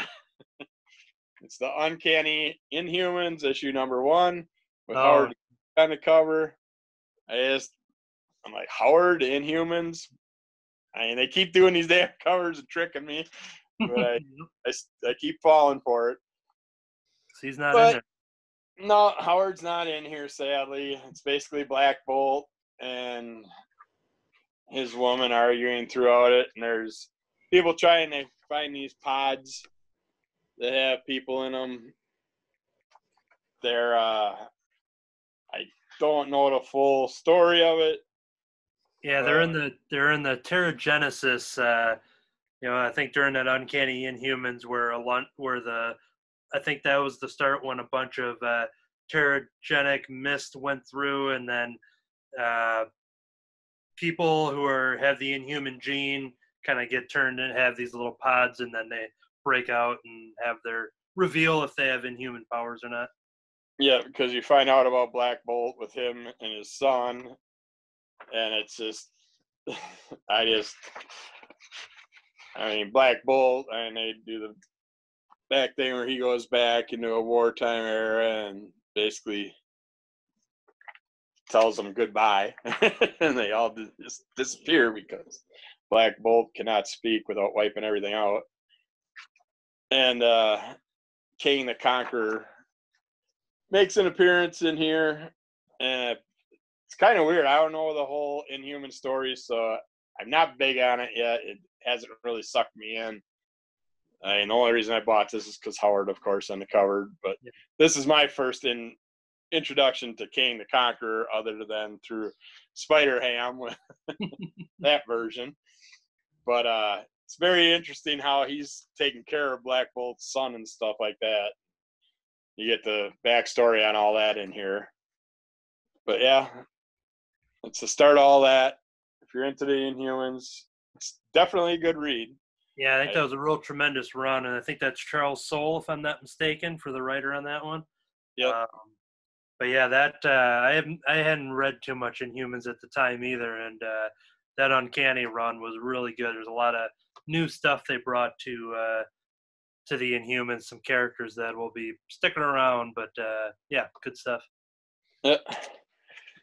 In Dark Red, we're up to number 10. This is still holding strong. Anybody else still reading this? Put your hand up. Nope. Okay. Well, in this issue, it gets more into the fight, the battle between the shapeshifters and the vampires and stuff like that. And then the little were child that hangs around with him ends up getting uh, a new family in this and stuff. But this is st- definitely still a strong vampire story that's totally different from anything else, and I'm just loving this one. So check out, Dark Red number ten.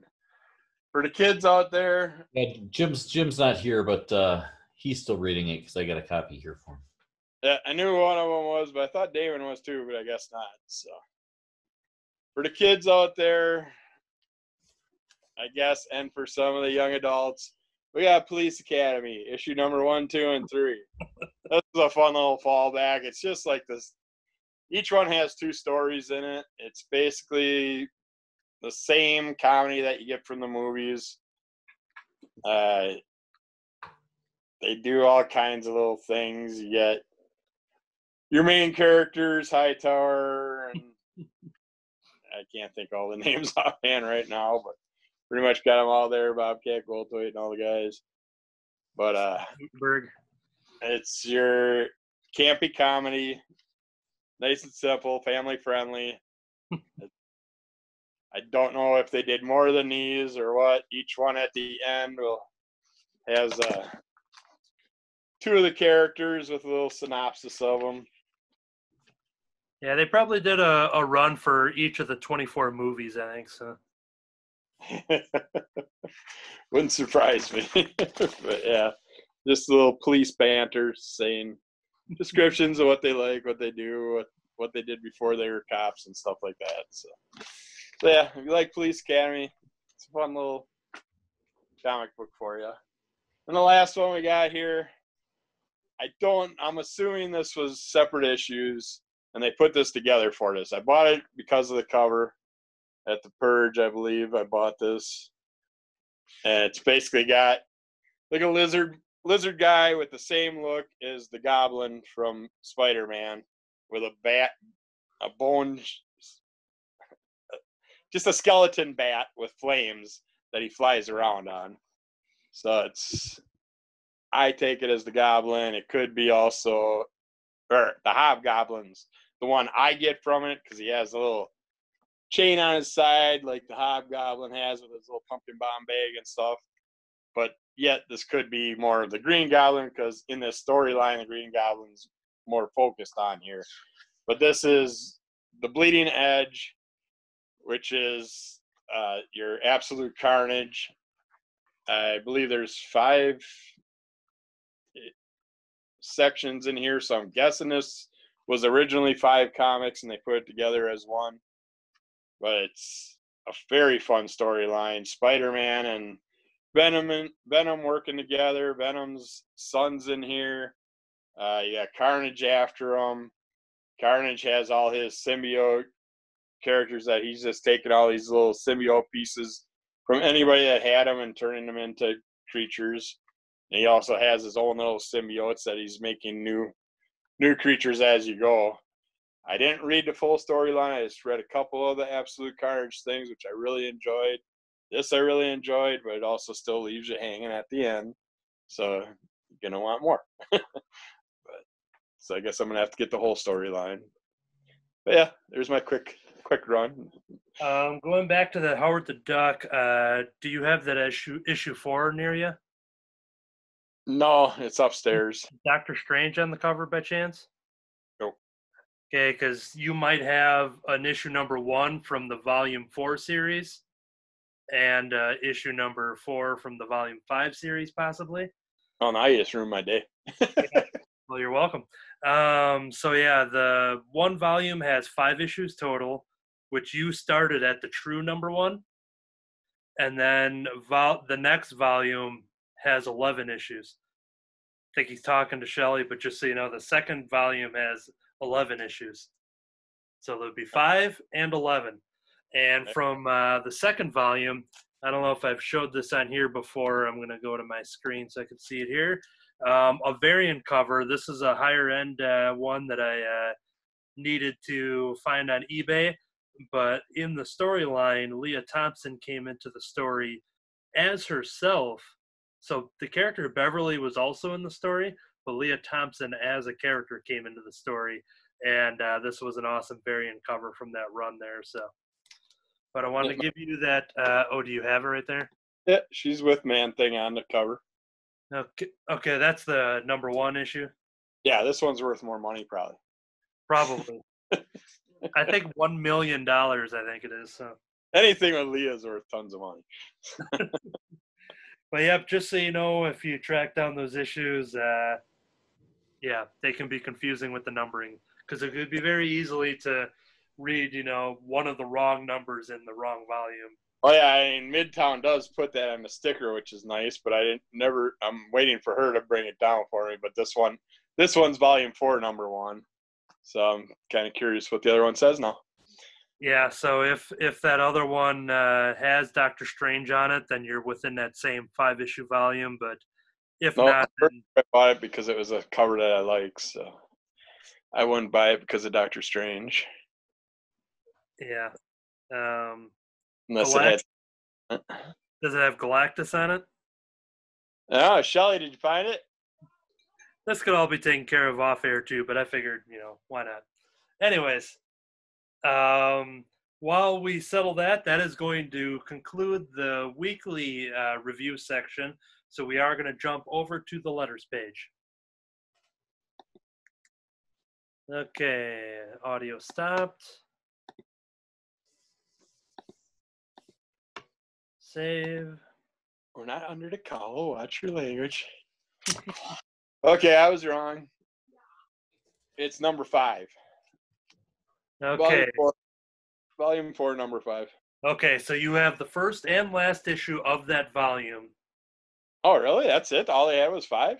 for that volume, but the same creative team did a second volume of 11 issues because they were doing this all new Marvel Now thing. So Yeah. it's all part of the same run and comedic comedic team, but you currently have the start and beginning of the first volume. So cool.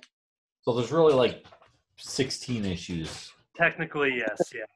Just all randomly thrown Yeah. around. Squirrel Girl was the other series that fell victim to having Yeah, two number ones. Not this one because of Squirrel Girl on the cover. Yeah, they both had two number one issues within the same year before they got restarted with the same team. So, anyways, um, I think they even said that on one of the covers too uh, to make fun of that. So, okay, so we are gonna hit record and jump into the letters page. Here we go.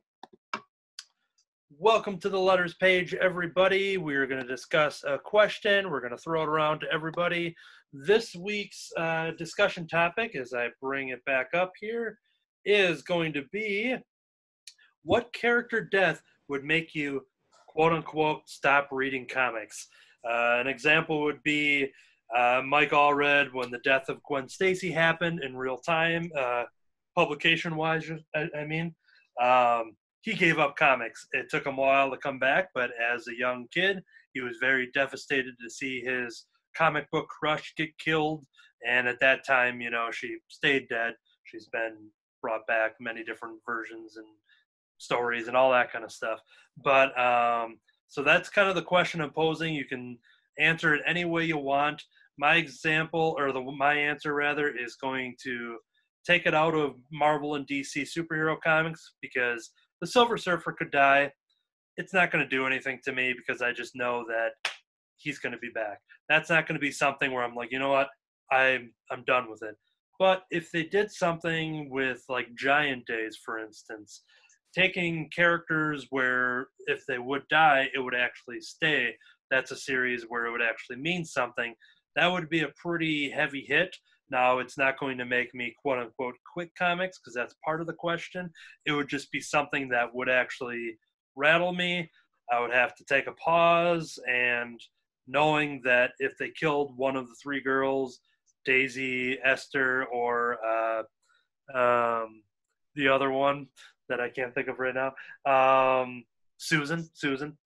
If they killed one of those characters, I just know it's a permanent decision and it would really hurt. So that's my answer is any of the three main characters from Giant Days.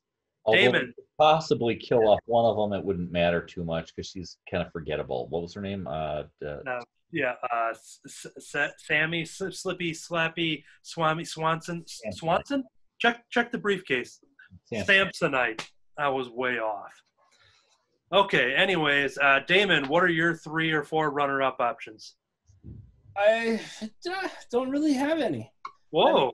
There are some characters where if they killed, it would it would definitely hurt. Yeah. You know, like uh, if if they killed off like Lady Death or Hell Witch or Howard the Duck or you know stuff like that, but I not it, it, I don't think it would push me off of comics. Yeah. The only thing that would really give me a bad taste to push me away is if they stopped like the horror genre. Ooh. You know, if they got all right, no more like R rated or scary The comics code comes back. horror themed uh, comics, that would really take me off because that's been my favorite genre since I was a kid. And so, I mean, if you look at my bookshelves, they're like 80% all basically horror or sci fi stuff. And uh, if you stop doing that, that would give me a bad enough taste that I'd say, you know what, fine. You know, bleep off, I'm done. I'll go back to movies or, you know, novels. You know, that that's what would really give me a bad taste. But individual characters, since I haven't been reading comics for more than a year or two, um, I'm not fully vested. I, I don't think it would really push me off.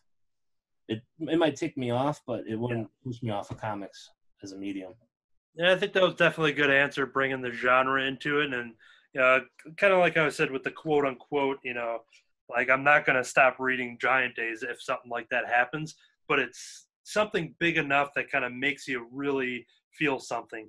Like Wonder Woman, Dead Earth, we saw Superman get, you know, Diana punched right through his chest. Yeah, While I'm- it, I'm- David's I'm I'm done. I took his answer. uh, but it's Actually, it was funny because my answer was going to be, I was jokingly going to be, yeah, if they ever killed Superman, you know, because you know they wouldn't do that. They wouldn't kill Superman. But if they ever killed Superman, yeah. I'd be, I'd be done. And I was trying to figure out how to phrase that question because using that Superman example, it's just like, all right, you know, it's its own little separate book and continuity, and another Superman comic comes out tomorrow, you know. But there were when they did the death of Superman, there were a number of people that were like, "I'm done. I'm," Yeah. finished with it," which I never got because apparently a lot of people didn't know this. I knew it. I thought it was like a common knowledge type of thing that it was going to be like a year long thing, and I knew as soon as they killed him off, he was coming back, and that wasn't even that typical for them to do. Whereas now it's like now every character's killed off and brought back. Um, but it, it wasn't so common when they did that. Um, but I knew at the time it was like going to be like a year long thing, and then they were bringing him back, so it was no, not a big deal. and you know, back in 2012, uh, when Dan Slott did that with Peter Parker, and then a Superior Spider-Man started, like, yeah, it was one month later when you got Superior Spider-Man number one, and you have Peter Parker as like a ghost entity, and he's throughout that series. Like, it's like, yeah, you're not; those characters aren't going away, but yeah, it still rattled people to you know send him death threats, which are obviously very you know stable people making those threats. And and really because of the very temporary nature of comic book deaths, um, I don't know that there's really anybody that that they could kill off, and I'd be like, you know what, that's I'm I'm done. I can't do this anymore. Um, sometimes they kill characters off, and you're like, here we go again. Um, and I, I wish that deaths could mean something. Um, it's so common that now they kill somebody off, and you don't even care. You're like, oh well, I guess I have to go a year without seeing this character, maybe a couple of years but it goes by so fast. You, you know, by the time you bring them back, um, I mean, it didn't didn't even seem like Wolverine was gone. Of course, you had like five different replacements for him, but um, you know, it's just such a temporary thing that it's really difficult. So I guess the only um, character that I could say, I, I would say, if if they killed off the Watchman, um, if if the Watchman died, I would no longer read comic books. it's a great answer. Great answer. All right, uh, Kirby, do you got one for us? Well, basically, I can't say anything Marvel or DC because they've all been killed. We've zombified all them. it's like most of the other characters have been, the big time characters have been killed, and all the other things, or they're already undead or dead. So you can't really say that. So I, I had to think someone that was actually new to me and someone that's actually friendly. I can't see her being put through anything like that, but that would have to be Squirrel Girl. I mean, and if you torture and abuse and kill off Squirrel Girl, then that's just the end of humanity in comics, as far as I'm concerned. And like she's trying to be friendly with everybody, and so And thankfully for us, she's unbeatable. Yep. Yes, but if she died, it would be the same thing. You know, you'd have the, the death of Squirrel Girl storyline followed by a Squirrel Girl. Death is nuts. Death by nuts. That's a different story. She had an Uh-oh. allergy this whole time. But yep, another good answer. Uh, Katie, do you got an answer for us? I do. So, um, one that I think would really make me quite sad and maybe want to stop reading the series for a while would be if they killed off Wonder Woman. Now, it's probably been done before, uh, given the nature of DC and Marvel comics, but I, I would definitely feel sad about that one. Less so because I know she's coming back. She's a flagship character, but you know, she's just someone who's like so hopeful and always like looking for the best and trying to resolve conflicts and inspire people to be their best selves. So it would be really low if someone took her out. But I could see them spinning it really heroic, like she's going to be the last defender and she's taken down the big bad to sacrifice herself and save the whole world, and there'll be puppies and rainbows and peace signs everywhere, and RIP Diana. So that would be sad, and I think it'd, it'd be how they'd spin it that would make me be like, this is a, a impactful sad, or versus a this is just like un, unbearable sad. Yeah, that's a beautiful statue. She would die and then she would conquer death and she would be back. Yeah, she probably would. She would, you know, well, because she is a goddess, she would probably actually go to the real god of death and like negotiate with them. I don't I don't know their gender and, you know, have some magical artifact that would save things and make it better. Yeah, probably come back rip and roaring, ready to go. I will say though, about three years ago when I did start getting into comics, like they had just killed, I think, Black Widow in one of the main storylines, and I was like, oh my god, how could they do this? She's such a you know character in the movies, and people like her. And they had killed off the Hulk, and I was just like, what's going on? And then you guys were like, you're new here, don't worry, they're coming back, it's fine. so yeah, uh, that the fleeting nature of death in comics does make it, you know, somewhat hard to get worked up about. But yeah, I'd say Wonder Woman. Yeah, it's like as I look around for various things, you know, uh, different characters. You know, Batman, been killed off, brought back. You know, uh, Green Lantern, been killed off, brought back. Every everything that I look at to go, huh, who hasn't been killed? Uh, I'm I'm not sure that Wonder Woman has yet, but I'm sure. Oh no. Whatever, you know, it's it's only a matter of time. I oh think yeah. I think the worst that would ever happen is if she like lost an arm or something. I don't know. Oh wow, that, that would be Maybe that's uh, issue four of Wonder Woman Dead Earth. Ooh. Uh, this one, uh, for those video watchers, uh, signed by artist Jenny Frison, who uh, is the the inspiration for the design on this here. Well, look, the arm goes right back, and she's all right. So, That's good. all right, I think those were all good answers to that. Um, we will move over to the news. All right, save. We are down here before I. Yeah, you can't can't see because of the glare on the head, but I was, you know, thinking Spawn over here. Boy, I hope they never kill Spawn. Oh, I was just thinking that too. I'm like, wow, that would be so upsetting. I had, I had my screen on the uh, the garage band as I was setting that up, and I just Uh-huh. heard you couldn't see because of the glare on the head, and I'm like, is he talking about? Oh wait, not talking about me. Yes. That would only be Kirby. that We would- all have filters now, so we don't have to worry about that. Yeah, here's my. I always wear my wig, and I just have to kind of adjust it when I. Um, here's my filter. Pull out. All right. Hi, Amy. Okay, record. Here we go. Welcome to the news section. Last week we did part one of our previews preview, which covered Marvel and DC picks for the month of September and beyond. This month, or this week rather, we're going to cover uh, the independent side of the catalog, the publishers, the the uh, the merchandise, the apparel, the collectibles, all of that fun stuff whatever you find um, because we aren't uh, we don't always all have physical catalogs anymore. Um, we're basically just not going to stick around to any publishers. Basically we're going to go around the internet just say whatever you want let us know when you've reached your last pick um, so yep it doesn't matter where you choose from so let me uh, queue up the september order here um, over at idw um, looks like there is uh, what's probably going to be possibly four one shots, but it's a pretty cool design cover of Teenage Mutant Ninja Turtles. Raph is one that comes out for uh, the month of September, and it's got this cool red background, like kind of cover going on.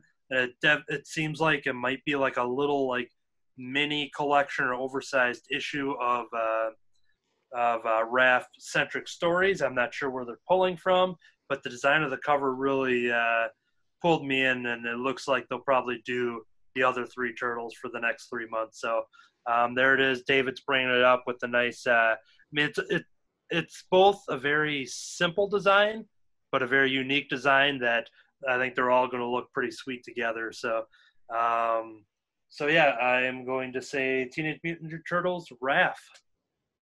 Uh, Damon. Okay, my first pick is from Dynamite. Um, and since I wasn't uh, at the podcast for last month's, I'm going to show last month's picture because the picture is so cool. Um, but I am definitely getting, uh, even if the story sucks, I'm picking this issue up for the cover. Mars Attacks, Red Sonja. Nice.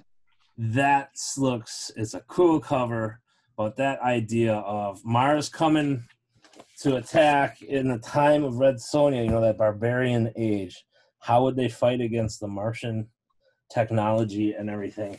That just uh, intrigues me. But in the current previews will be issue two, and here you got the little green dude riding on top of this big ugly nasty fighting Red Sonja. So I'm hoping the series is good in real life as it is in my head because what I'm picturing is going to be a lot of fun, but we'll have to wait and see. But uh, yeah, Mars attacks Red Sonja. I'm hoping it's fun. Cool. David.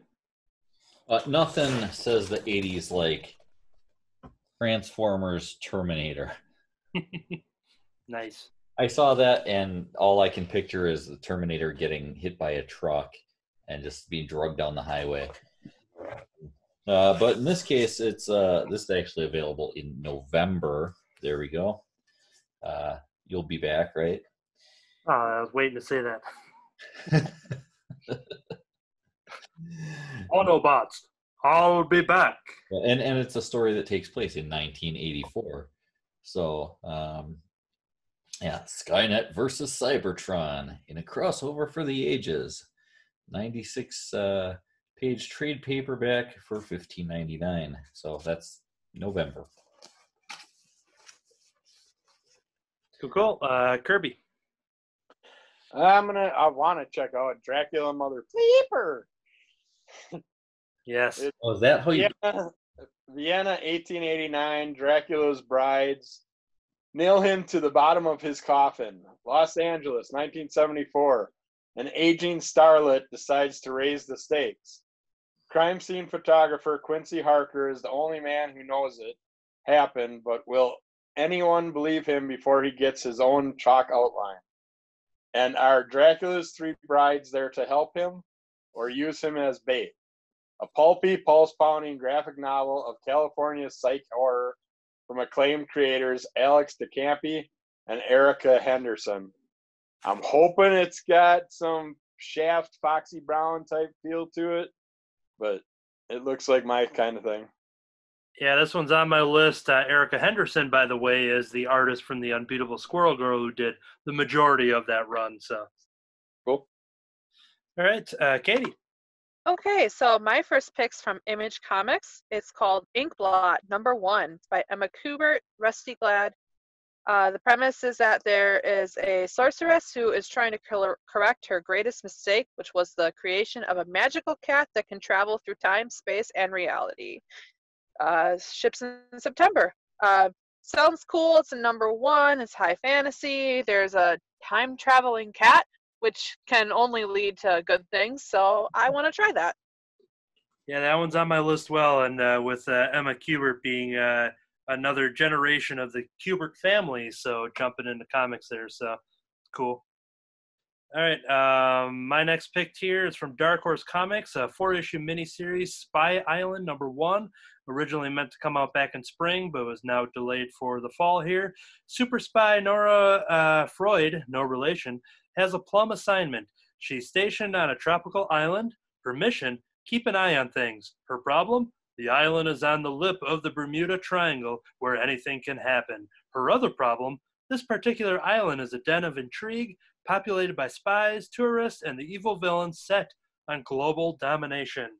Um, this drew my attention. Uh, writer Chelsea Cain, who did the Maneater series as well as the Mockingbird miniseries from Marvel, uh, with art by Elise McCall, colors by Rochelle Rosenberg.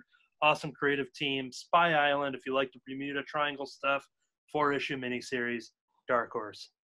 Damon. My next pick is also from Dark Horse. It is the Hellsing Deluxe Edition, Volume 2. Uh, not too long ago, I did a review of the Berserk uh, manga and how I'm, I'm, I'm really starting to get into the manga and I like the Berserk in this deluxe edition format. So when I heard Hellsing was coming out, uh, I really wanted to jump on that. Volume 1, I think, comes out either next week or the week after. Uh, this one goes on sale on November 18th. Um, Hellsing is a, a manga, deals with like uh, werewolves and vampires and all kinds of nasties. For volume two here, it says the Hellsing organization is under siege by the undead Nazi army of the Millennium Project, who are turning the London streets into rivers of blood. And with this murderous conflict at a fever pitch, the Vatican sees an opportunity to take down both Millennium and Hellsing in one swift stroke. So it sounds like it's going to be very violent, very bloody, and very cool. Cool. Uh, David. Well, this one I was trying to figure out exactly here because uh, it's under Boom's September releases, um, but and and what they've got the first one up is Wynd number one. Okay, and I was looking for the release date over here, which I'm not seeing. Um, but again, it's under September releases. The confusing thing is that over here we also have solicitations for uh, two, three, and four. And if you look at when it says that they're released, we've got July, August, and September. So I don't recall or know if that's been out yet, but that it's a little confusing that they have uh, number one under September releases and yet have two, three, and four listed for July, August, and September. Yeah, Wynd, I think, actually is one of those, kind of like the Black Widow number one that uh, when Katie had mentioned her interest last week, I had said how that one had come out, even though it, like some stores weren't going to get it and some were. Um, I think Wynd was another one of those that fell under that uh, copies got out while they also decided to just pause the series until fall. So that might just be a re-advertising, especially for something that's not having a major motion picture coming out attached to it, you know. So I'm thinking that's where that lies, so people don't miss out on that. And I thought maybe you know it's got some some names like James Tynion that uh, you know Yeah. might might be things that you'd be interested in. Uh, in this case, it's about uh, a, a place where magic is outlawed. So we got somebody uh, a pointy-eared uh, guy that's uh, got to go around and hide his uh, use of magic. Um, but yeah, I mean, it looks interesting, and just the way it's solicited, it comes across as a little bit confusing on when it comes out versus others. And we have seen where some issues of books have come out with all this, uh, and then an, an earlier issue comes out afterwards. So, um, and just just the way that everything has been uh, backed up, just the the releases of it. Some some of the things haven't actually shipped in order. Uh, Kirby. Grim Terry, Grim Terry, Grim Fairy Tales presents Grim Tales of Terror quarterly number one. For centuries, the Order of the Secret Circle has lurked in the shadows, reinventing itself for each new generation. And ongoing by many names, the Order of the Temple of the East, the Order of Knights, and the Hellfire Club, it seeks to bend the nine demons of hell to its will. In 1912, Aleister Crowley took control of Hellfire and attempted to bring the great beast under control, under his control, while ultimately falling. The ripples from the dark spell echo to, to the present, calling forth a new congregation who seek to reform Hellfire and tap into the evil power it promises. This looks interesting, and along with it, you can also check out Grim Fairy Tales presents Van Helsing versus the League of Monsters, which I've been enjoying all the little Van Helsing side series that I've been reading. So Cool, yeah, cool. lots of stuff, and the covers look awesome. All right, over at Image Comics, we have, uh, speaking of James Tynion, he has a new series called Department of Truth number one. This is a series premiere. Cole Turner has studied conspiracy theories all of his life, but he isn't prepared for what happens when he discovers that all of them are true, from the JFK assassination to flat earth theory and reptilian shapeshifters. One organization has been covering them up for generations. What is the deep, dark secret behind the Department of Truth? Um, even though this had the great creative team, Image Comic, I'm like, you know what? There's just a lot of series. I don't need this.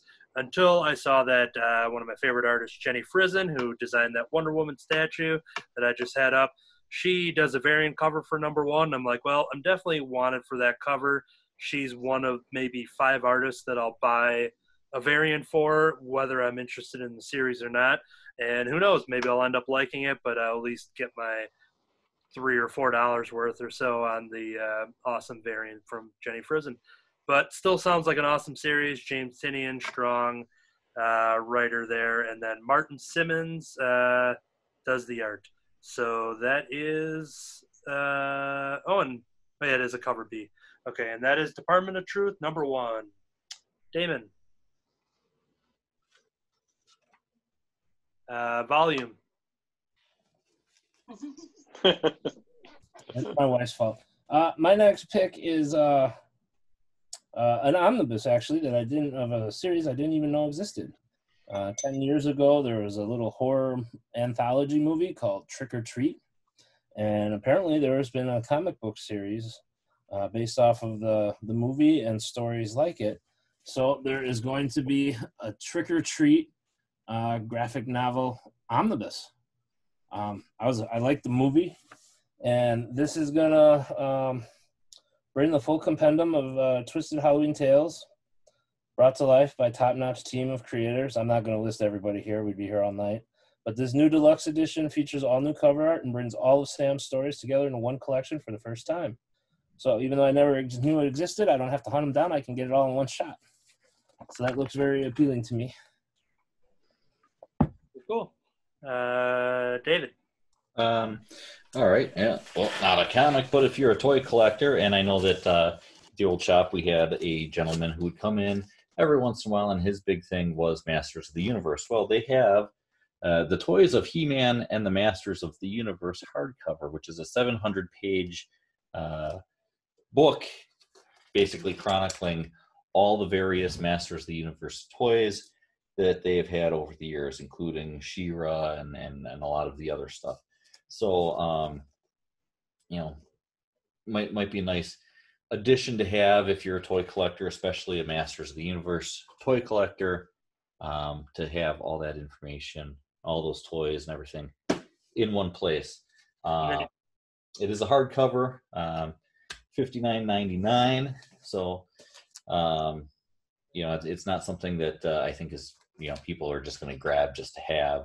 Um, but I know that there's there's a couple uh, people out there that are into this stuff that might be interested in having a book like that. And if you're a big toy collector like uh, Kurt, he would probably open up the toys so he can like really see what uh, numbers and models he has, and then he would take that book and then cross it off with Sharpie when he gets to it on that page, so he makes sure he gets everything. Or uh, being a hardcover, it might come wrapped in cellophane, which he probably would not open. Uh, yes, uh, Kirby. All right, Shiver Shiver Bureau. It's a graphic novel collecting all seven issues, a cross between Sherlock Holmes and Ghostbusters. Shiver Bureau is a tale of formidable detective that is forced into a partnership with a wisecracking hotshot inspector to save London from being overrun by ghosts and monsters.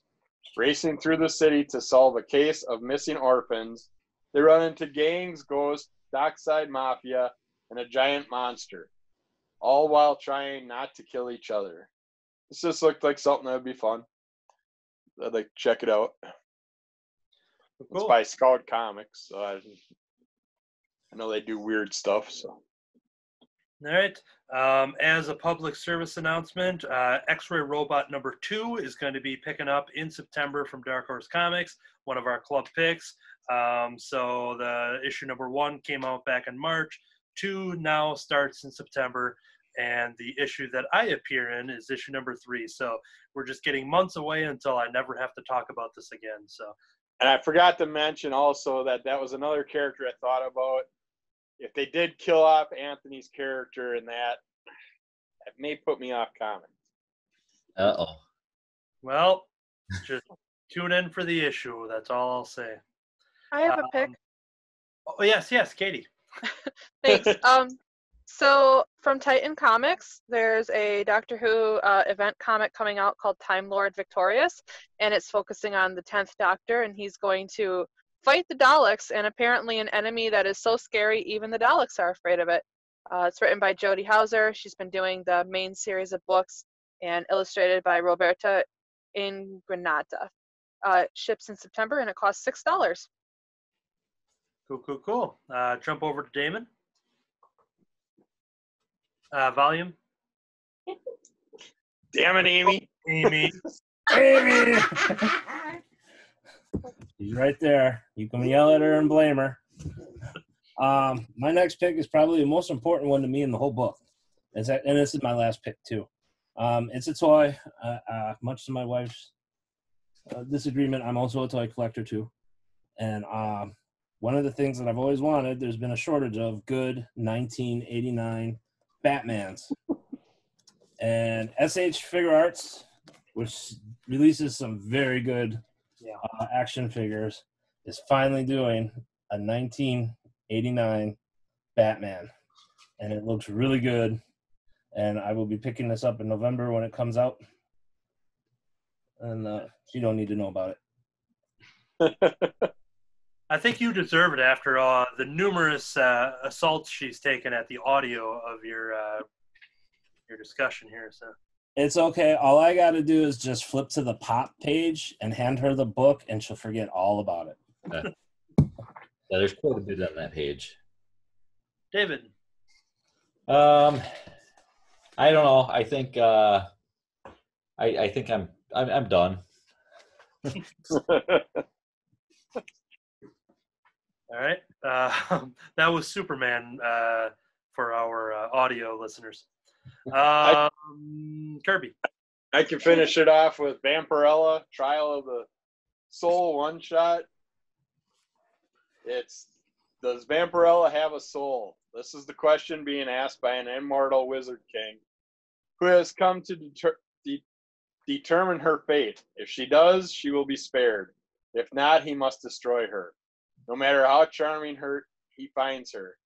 this can't miss standalone tale introduces the latest member of Vampy's spine tingling rogues gallery, Eisner Award winning fantasy ma- maestro Bill Willingham from Fables and Robin brings this fable to the page with a haunting cover by Bart Sears from Turok and Blade and interiors by Giuseppe Cafaro from Justice League vs. Suicide Squad. I hope The it's- one shot from Vampirella I want to check out. And if you want to stick with the vampire and the toys, if anybody's looking for anything for me to buy me, you can buy me that Elvira Couture de Force figurine. it's only $64. Put it on Jim's credit card. All right, Katie. Uh, my next pick is from Albatross. Uh, this is actually official. It looks like it is called Fearless Dawn meets Hellboy by Mike Mignola and Steve Mannion. Uh, I do love Hellboy. It's awesome. So it looks like they're going to mash up those two characters. A misadventure in Romania drops Hellboy into the middle of the paranormal mission of Fearless Dawn's crew. I've never read anything about Fearless Dawn, but I'd try it. Uh, this meeting of heroes is no picnic, so it's uh, oh my goodness, it's in stock on my birthday. It's uh, middle of September and it's four dollars. Uh, Mike Mignola, Steve Mannion. The cover uh, looks a little different from Magnolia's art, so we'll see what the inside looks like. But always fun with Hellboy. And I think there's, if I'm not mistaken, I don't know, there might be two different covers. He might do one of them, and maybe the other creator does the other. Yeah, that would make sense. But this is one that was another one that was supposed to come out back in spring, so I was glad to see it show up in this catalog. So, right, uh, a pick I am excited for from Keenspot Comics is Belle Zebub, number one. Uh, Belle is your typical grade schooler, except for an important detail. Her mother was an honest to goodness angel, like she literally fell from heaven. And her father is B.L. Zebub, one of the seven princes of darkness. Belle takes after her mother, but her supernatural powers are partly darkness based, so things tend to go wrong for poor Belle. It's no wonder why her best friend is a zombie that's allergic to human flesh. Together, they all try their best to fit into suburbia. Beelzebub is the name that drew my attention. It's a fun, all ages comic, what it looks like. Uh, she's part angel and part devil and all kid. So that's Beelzebub. So that one I'm excited for. Um, and did anybody, Kate, is it just me and Katie left for picks then? So, Katie, if you Yep. have any more. Okay, I think uh, this will be my last one. It's from Boom Studios. It's called Unkindness of Ravens by Dan Panosian, and the art is by Marianna Ignazzi. Uh, it sounds like there's a descendant of some of the witches from Salem who survived the trials, and she's now the new girl in school, and she plans to go completely unnoticed, except that she bears an eerie resemblance to the Raven member Waverly, and Waverly just went missing. So it sounds like this comic is going to be about solving Waverly's disappearance while trying to stay out of the scenes. Uh, anyway, from Boom Studios, that is Unkindness of Ravens, number one. And that's my last pick. Cool, cool, cool. Um, and I'm just going to fire these off without uh, giving any descriptions beyond what I remember. Um, Sex Criminals issue number 69 is coming out, which is funny because the previous issue is issue number 30.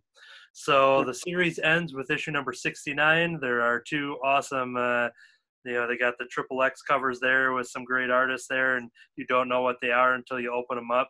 But uh, the finale to the series about a couple who uh, can stop time when they orgasm so they can rob banks. So that's Sex Criminals number 69. That series is ending. Uh, that was drawn by Chip Zdarsky. He has a series he's writing uh, called Stillwater. It looks like a horror uh, horror series from Image, so I'm excited for that because he's just such a versatile writer and artist. Um, then we have over in Archie, there's a Betty and Veronica Bond of Friendship original graphic novel. I think that might be part of their new young adult, uh, like middle grade uh, original graphic novels. So, of course, I'm getting that. Then over at Aftershock, the horror series that was supposed to come out in spring, now coming out in fall. Lonely Receiver, uh, number one, that had a pretty badass cover, so I'm excited uh, about that. Um, and then my, uh, I think, oh yeah, uh, Firefly has a two different things. They have a Blue Sun Alpha issue, as well as a Firefly Watch How I Soar original graphic novel. So more Firefly goodness there. And then two final things from Insight Studios. Mean Girls senior year, much like the Clueless, uh, that got a graphic novel um, kind of sequels. Uh, they're doing the same with Mean Girls. I thought it was a very funny movie, so and a very successful uh, Broadway uh, musical as well. But now Mean Girls is coming to comics with Mean Girls Senior Year. And my final thing is not a comic, but from the merchandise. It's the Stan Lee Ragnarok cameo pop figure. So, yep, his cameo when he went in to give Thor a haircut there is being immortalized as a pop figure. So, I am super excited for that one. I didn't see it. So, yep, that is out there. So, that will do it for this issue, a very extra giant size issue of the Crimson Cowl Comic Club. We will see you next week for the Spider Ham number five conclusion for our club pick, and well as more weekly reviews. So, this entire time, I never rode the Matterhorn at Disneyland. I've been sitting next to a hungry woman that really wants dinner. I'm Tammy's husband. I drink alone. Yeah, with nobody else. And I'm Katie.